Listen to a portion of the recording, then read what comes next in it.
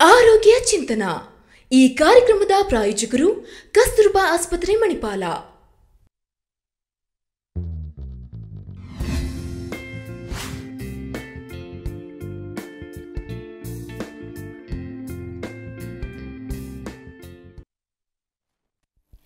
ನಮಸ್ಕಾರ ವೀಕ್ಷಕರೇ, ಕಸ್ತೂರ್ಬಾ ಆಸ್ಪತ್ರೆ ಮಣಿಪಾಲ್ ಅರ್ಪಿಸುವ ಆರೋಗ್ಯ ಚಿಂತನಾ ಕಾರ್ಯಕ್ರಮಕ್ಕೆ ತಮಗೆಲ್ಲರಿಗೂ ಕೂಡ ಪ್ರೀತಿಯ ಸ್ವಾಗತ. ಪ್ರತಿ ವಾರ ನಾವು ಆರೋಗ್ಯಕ್ಕೆ ಸಂಬಂಧಪಟ್ಟಂತೆ ಒಂದೊಂದು ವಿಚಾರಗಳ ಬಗ್ಗೆ ಮಾತಾಡ್ತಾ ಇದ್ದೇವೆ.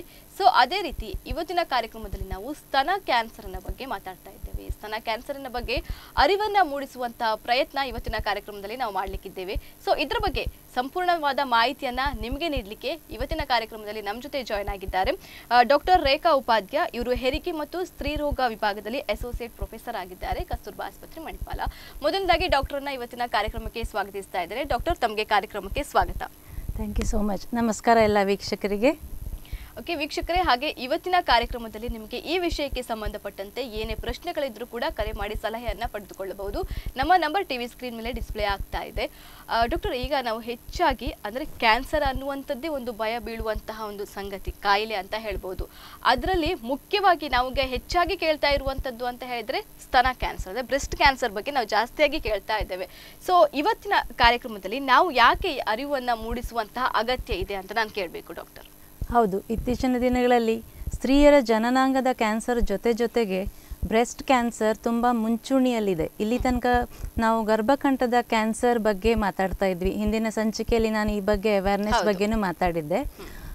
ಆದರೆ ಗರ್ಭಕಂಠದ ಕ್ಯಾನ್ಸರ್ ಬಗೆಗಿನ ಬಹುತೇಕ ಮಾಹಿತಿಯಿಂದಾಗಿ ಅವೇರ್ನೆಸ್ ಪ್ರೋಗ್ರಾಮಿಂದಾಗಿ ಮತ್ತು ವ್ಯಾಕ್ಸಿನ್ ಅವೈಲೇಬಿಲಿಟಿ ಇರೋದ್ರಿಂದ ಇತ್ತೀಚೆಗೆ ಅದಕ್ಕೆ ಸಂಬಂಧಪಟ್ಟ ಸುಮಾರು ಹಂತದ ಟ್ರೀಟ್ಮೆಂಟ್ ಲಕ್ಷಣಗಳು ಮುಂಚಿತವಾಗಿ ನೋಡ್ಕೊಳ್ಳುವಂಥದ್ದು.